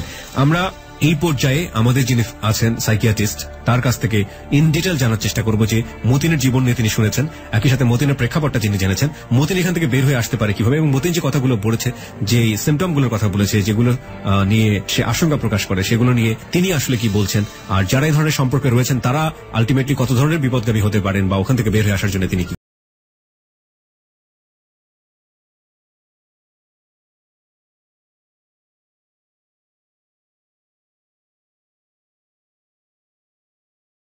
কি বলার আছে? জি থেকে তিনটে জিনিস আমি সবার দৃষ্টি আকর্ষণ করতে চাচ্ছি। আমাদের এর আগের দিনও আমি কিছু কথা বলছিলাম একটা অনুষ্ঠানে কিছু যৌন সমস্যা বা যৌন বিকৃতি হয়, একটা ছেলের ছিল যে যৌন বিকৃতি ছিল যে উকি দিয়ে মেয়েদেরকে দেখতো বা তারা লগ্ন হচ্ছে বা তারা সেক্সুয়ালি অ্যাক্ট করতেছে। এইগুলো হলো যৌন পারবাসান যেটা ছিল। আর আজকে যেটা মতিনে যেটা হচ্ছে সেটা হচ্ছে এটা আরেকটা যৌন সমস্যা যৌন রোগ। সেটা হচ্ছে যে আমরা তিনটা রোগ বলি একটা ট্রান্সভেস্টিসিজম একটা হলো ট্রান্সসেক্সুয়ালিজম আর হলো হোমোসেক্সুয়ালিজম বোঝার জন্য বলতেছি ট্রান্সভেস্টিজম হচ্ছে যে ছেলেরা মেয়েদের মতন পোশাক পরে বা মেয়েদের মতনই অঙ্গভঙ্গি করে, কণ্ঠস্বর করতে চায় সেভাবেই চলতে এরকম কিছু প্রবণতা ছোটকাল থেকেই কারও কারোর মধ্যে থাকতে পারে। আর ট্রান্সসেক্সুয়ালিজম হচ্ছে তার সম্পূর্ণ বিপরীত। সে মনে করে যে আমি বাণিজ্যিক দিক থেকে ছেলে, কিন্তু আসলে মূলত আমি হচ্ছে একটা নারী, তাই আমি নারী হতে চাই। আমাকে পুরো অঙ্গ বদলায় ফেলতে হবে, আমাকে ব্রেস্ট করতে হবে, আমাকে যৌন অঙ্গগুলি নারীর মতন করতে হবে সে তারা মানে খুবই চেষ্টা করে ওই- পুরা নারী হয়ে যাওয়ার চেষ্টা করে। আর আমার কাছে যেটা দেখা গেল মতিনের ক্ষেত্রে ট্রান্সসেক্সুয়ালিজম না তার হচ্ছে ট্রান্সভেস্টিজম ছিল অর্থাৎ ছোটকাল থেকে তার মেয়েলি স্বভাব ছিল। মেয়েদের মতন হয়তো পোশাক করতে চাইতো, সেরকম অঙ্গভঙ্গি করতো, সেরকম শ্বাস প্রশ্বাস করতো। এটা ট্রান্সভেস্টিজম যেহেতু মেয়েদের সঙ্গে মেয়েদের মতন আচরণ করতো, সে হয়তো দেখতে কীরকম আমি জানি না। অতএব অন্য ছেলেরা বা অন্য পুরুষরা তার প্রতি স্বাভাবিকভাবে তখন আকৃষ্ট হবে। আর আমাদের দেশে এমনিও এই ধরনের যৌন অবিচার বা সেক্সুয়ালগুলো হয়ে থাকে। যেহেতু সেক্সুয়াল এবিউজ গুলি করার মতন লোকের সংখ্যা কম না আমাদের দেশে তার সঙ্গে যদি কোন ছেলে মেলি স্বভাব প্রদর্শন বেশি করে, তাহলে তার প্রতি ওই বিকৃত মনা লোকেরা আরও বেশি আকৃষ্ট হয় এবং তাকে সেখানে এবিউজ করে যা মতনের ক্ষেত্রে হয়েছিল। এবং অনেকভাবে যেভাবে এবিউজ হতে হতে সে তখন কি করল? জিদ করে হোক হোক, অথবা তার সেক্সুয়াল আমরা যেটা ওরিয়েন্টেশন বলি জেন্ডার ওরিয়েন্টেশন তার যৌন দিক থেকে তার যে ওরিয়েন্টেশন সে যে একটা ছেলে, তার মেয়ের দিকে তার আকর্ষণ হওয়ার কথা, সেটা না হয়ে ওরিয়েন্টেশনটা হয়ে গেছে উল্টো। ছেলে অথচ মেয়েদের মতন স্বভাব করে বা বৈশিষ্ট্য গ্রহণ করে সে ছেলে হয়ে ছেলেদের কাছেই আকর্ষণ দেখাতো বা তাদের সঙ্গে যৌন মিলনে যাইতো যেটা সম্পূর্ণ বিপরীত। আমি যেটা পয়েন্ট করতে দিতে চাচ্ছি সেটা হচ্ছে এই যে সমকামিতা বা হোমোসেক্সুয়ালিটি এটা কিন্তু সমাজে না আর পৃথিবীর সব সমাজে আছে এবং এই জন্য অনেক বড় বড় আন্দোলনও হচ্ছে। এটা লুকানো, আপনি যেটা বলছেন লুকানো, আসলে কোনো লুকানো কিছু নেই। আপনি ইন্টারনেট কিন্তু এই আমাদের দেশেও সমকামীদের বিভিন্ন সংগঠন খুঁজে পাবেন। তারা নিজেরা সংগঠন তৈরি করেছে, তারা নিজেরা একত্রে মিলিত হয় তারা নিজেদের সঙ্গে যোগাযোগ করে, এবং তারা পারস্পরিক বিয়ে করতে চেষ্টা করে, এবং তারা একটা আলাদা মানে সমাজ তৈরি করার চেষ্টা করতেছে। পৃথিবীতে অনেক দেশ, এমনকি আমেরিকাতেও বেশ কিছু দেশের সমকামীরা তারা আইনগত দাবি উঠেছে, এবং তাদের দাবি অনেক জায়গায় মেনেও নেওয়া হয়েছে হ্যাঁ তারা পরস্পর বিয়ে করতে পারে, তারা আলাদা জীবন যাপন করতে পারে। যদিও এটা আমাদের দেশে সামাজিক বর্তী দিক থেকে, আইনগত দিক থেকে সম্পূর্ণ নিষিদ্ধ, কিন্তু পুরা পৃথিবীর দেশে কিন্তু এটা যেহেতু বায়োলজিক্যাল ওরিয়েন্টেশন যৌন ওরিয়েন্টেশনটা ভিন্ন রকমের, অনেকভাবে চেষ্টা করেছিল মনোবিজ্ঞানীরা যে এটাকে অন্যভাবে বদলানো যায় কিনা। কিন্তু দেখা গেছে এই হোমোসেক্সুয়ালিটিটা একটা মেয়ে যেমন ছেলে মানে হ্যাটারোসেক্সুয়ালিটি যেমন স্বাভাবিক হোমোসেক্সুয়ালিটি তো এখন বলা হচ্ছে বায়োলজিক্যালি এটাই স্বাভাবিক। এদের এই আকর্ষণটাকে বা এই স্বাভাবিক প্রবণতাটাকেই স্বীকৃতি দেওয়া উচিত। এই এই এরকম আন্দোলন কিন্তু অনেক জায়গায় হচ্ছে এবং এই দাবি অনেক জায়গায় উঠছে। যে আমাদের দেশেও কিন্তু নীরবে এই দাবিগুলি উঠতেছে। হোমোসেক্সুয়ালিটি কোনো গোপন বিষয় নয় এবং এটা খুব কম তাও নয়। আমরা আমাদের প্রফেশনাল জীবনে প্রচুর এরকম রোগী পাই যারা হোমোসেক্সুয়াল আছে এবং তারা কোনোভাবেই অন্য জীবন যাপন করতে চায় না। তারা সবচেয়ে ভালো বলে করে ওই যে তার যে সঙ্গী সাথে ছিল তারা অনেকে তাকে বিয়ে করতে চাইছে বা বিয়ে করতে আগ্রহী হয়। এদের ওরিয়েন্টেশনটা এত বেশি দৃঢ় থাকে যে তারা সমকামী হয়ে থাকতে চায় এবং সেইভাবেই জীবন জীবনযাপন করতে চায়। এখন আমি মতিনের যে ব্যাপারটা হচ্ছে, মতিন আপনাদের এই অনুষ্ঠানটা, যাহা বলিব সত্য অনুষ্ঠানটা আমি আগেও বলেছি, এটা খুবই মানে মনোজগতের পরিবর্তনের জন্য, সমাজ পরিবর্তনের জন্য খুবই ভালো একটা কাজ করে যাচ্ছে নীরবে নির্দিষ্ট কাজ করে যাচ্ছে, যেগুলি অনেক পেশাজীবী আমরা সংগঠনগুলো সেগুলো করতে পারতাম না। অনুষ্ঠান শুনে শুনে সে নিজেই বুঝতে পারতেছে যে একটা বিকৃতি হোক বা একটা অন্য রকমের অস্বাভাবিকতার ভিতরে সে চলে গেছে, সেই জন্য সে হয়তো তার ওই জীবন থেকে বেরিয়ে আসার জন্য সে আপনাদের কাছে এসে তার কাহিনী বলার চেষ্টা করেছেন। আমি তাকে জন্য যেটা বলব যে তাকে এবং আপনাদেরকে এবং সবাইকে জানার জন্য বলব যে, একবার যদি কেউ হোমোসেক্সুয়াল হয়ে পড়ে হয়ে পড়ে মানে তার পক্ষে আবার পূর্ণভাবে হ্যাটারোসেক্সুয়াল হওয়াটা একটু কঠিন বটে। তবে কিছু কিছু লোক থাকে, আমরা বলি বাইসেক্সুয়াল হোমোসেক্সুয়ালও করে সমকামীও থাকে, আবার হ্যাটোসেক্সুয়ালও হয়। যদি মতিনের ভিতরে বাইসেক্সুয়ালিটি থাকে ছেলে হয়ে মেয়েদের প্রতি আকর্ষণের কিছুমাত্র থেকে থাকে, তাহলে কিন্তু তাকে চিকিৎসা দিয়ে দিয়ে আবার হ্যাটোসেক্সুয়াল করা যাবে। এবং সে আমাদের সমাজে যেমন যেভাবে হয় আর কি, ছেলে মেয়েকে বিয়ে করে, সেও সেভাবেই আবার সেই জীবন ধারণ করতে পারবে। আর যদি পুরা সমকামী হয়ে থাকে, তখন তাহলে তার প্রফেশনালি খুব ভালোভাবে চিকিৎসা নিতে হবে যাতে সেই এই জেন্ডার ওরিয়েন্টেশন সেক্সুয়াল ওরিয়েন্টেশনটা সে বদলাই ফেলতে পারে। অতএব তার এখন অনুশোচনা করা দরকার নেই। সে, যে কাজটা করেছে, তাকে সে সে পাপ করছে বা ভুল করছে, এরকম ব্যাপারও কারণ নাই, কারণ সে এর একাই এরকম না। আহ, আমাদের সমাজে প্রচুর এরকম লোক আছে পৃথিবীর সব সমাজ এরকম লোক আছে। এটা এটা এক ধরনের সমস্যা বা ডিসঅর্ডার আমরা বলি। অতএব এটা একটা রোগ হিসেবে দেখতে হবে সেই রোগটাকে চিকিৎসা করতে হবে। এই জন্য সে পাপি বা সে সমাজ বিরোধী লোক এরকম ভাবার কোনো কারণ নাই। অতএব সে নিজেকে সেভাবে না ভেবে সে যদি স্বাভাবিক জীবনে আবার ফিরে আসতে চায় তাহলে একজন প্রফেশনাল লোকের থেকে সে প্রফেশনাল সাহায্য নিতে চেষ্টা করতে পারে। ওকে অনেক অনেক ধন্যবাদ আপনাকে আপনার এই মূল্যবান মতামতের জন্য বিশ্লেষণের জন্য। অনেক ধন্যবাদ আমাদেরকে সময় দেওয়ার জন্য। জি আপনাকে ধন্যবাদ। জি।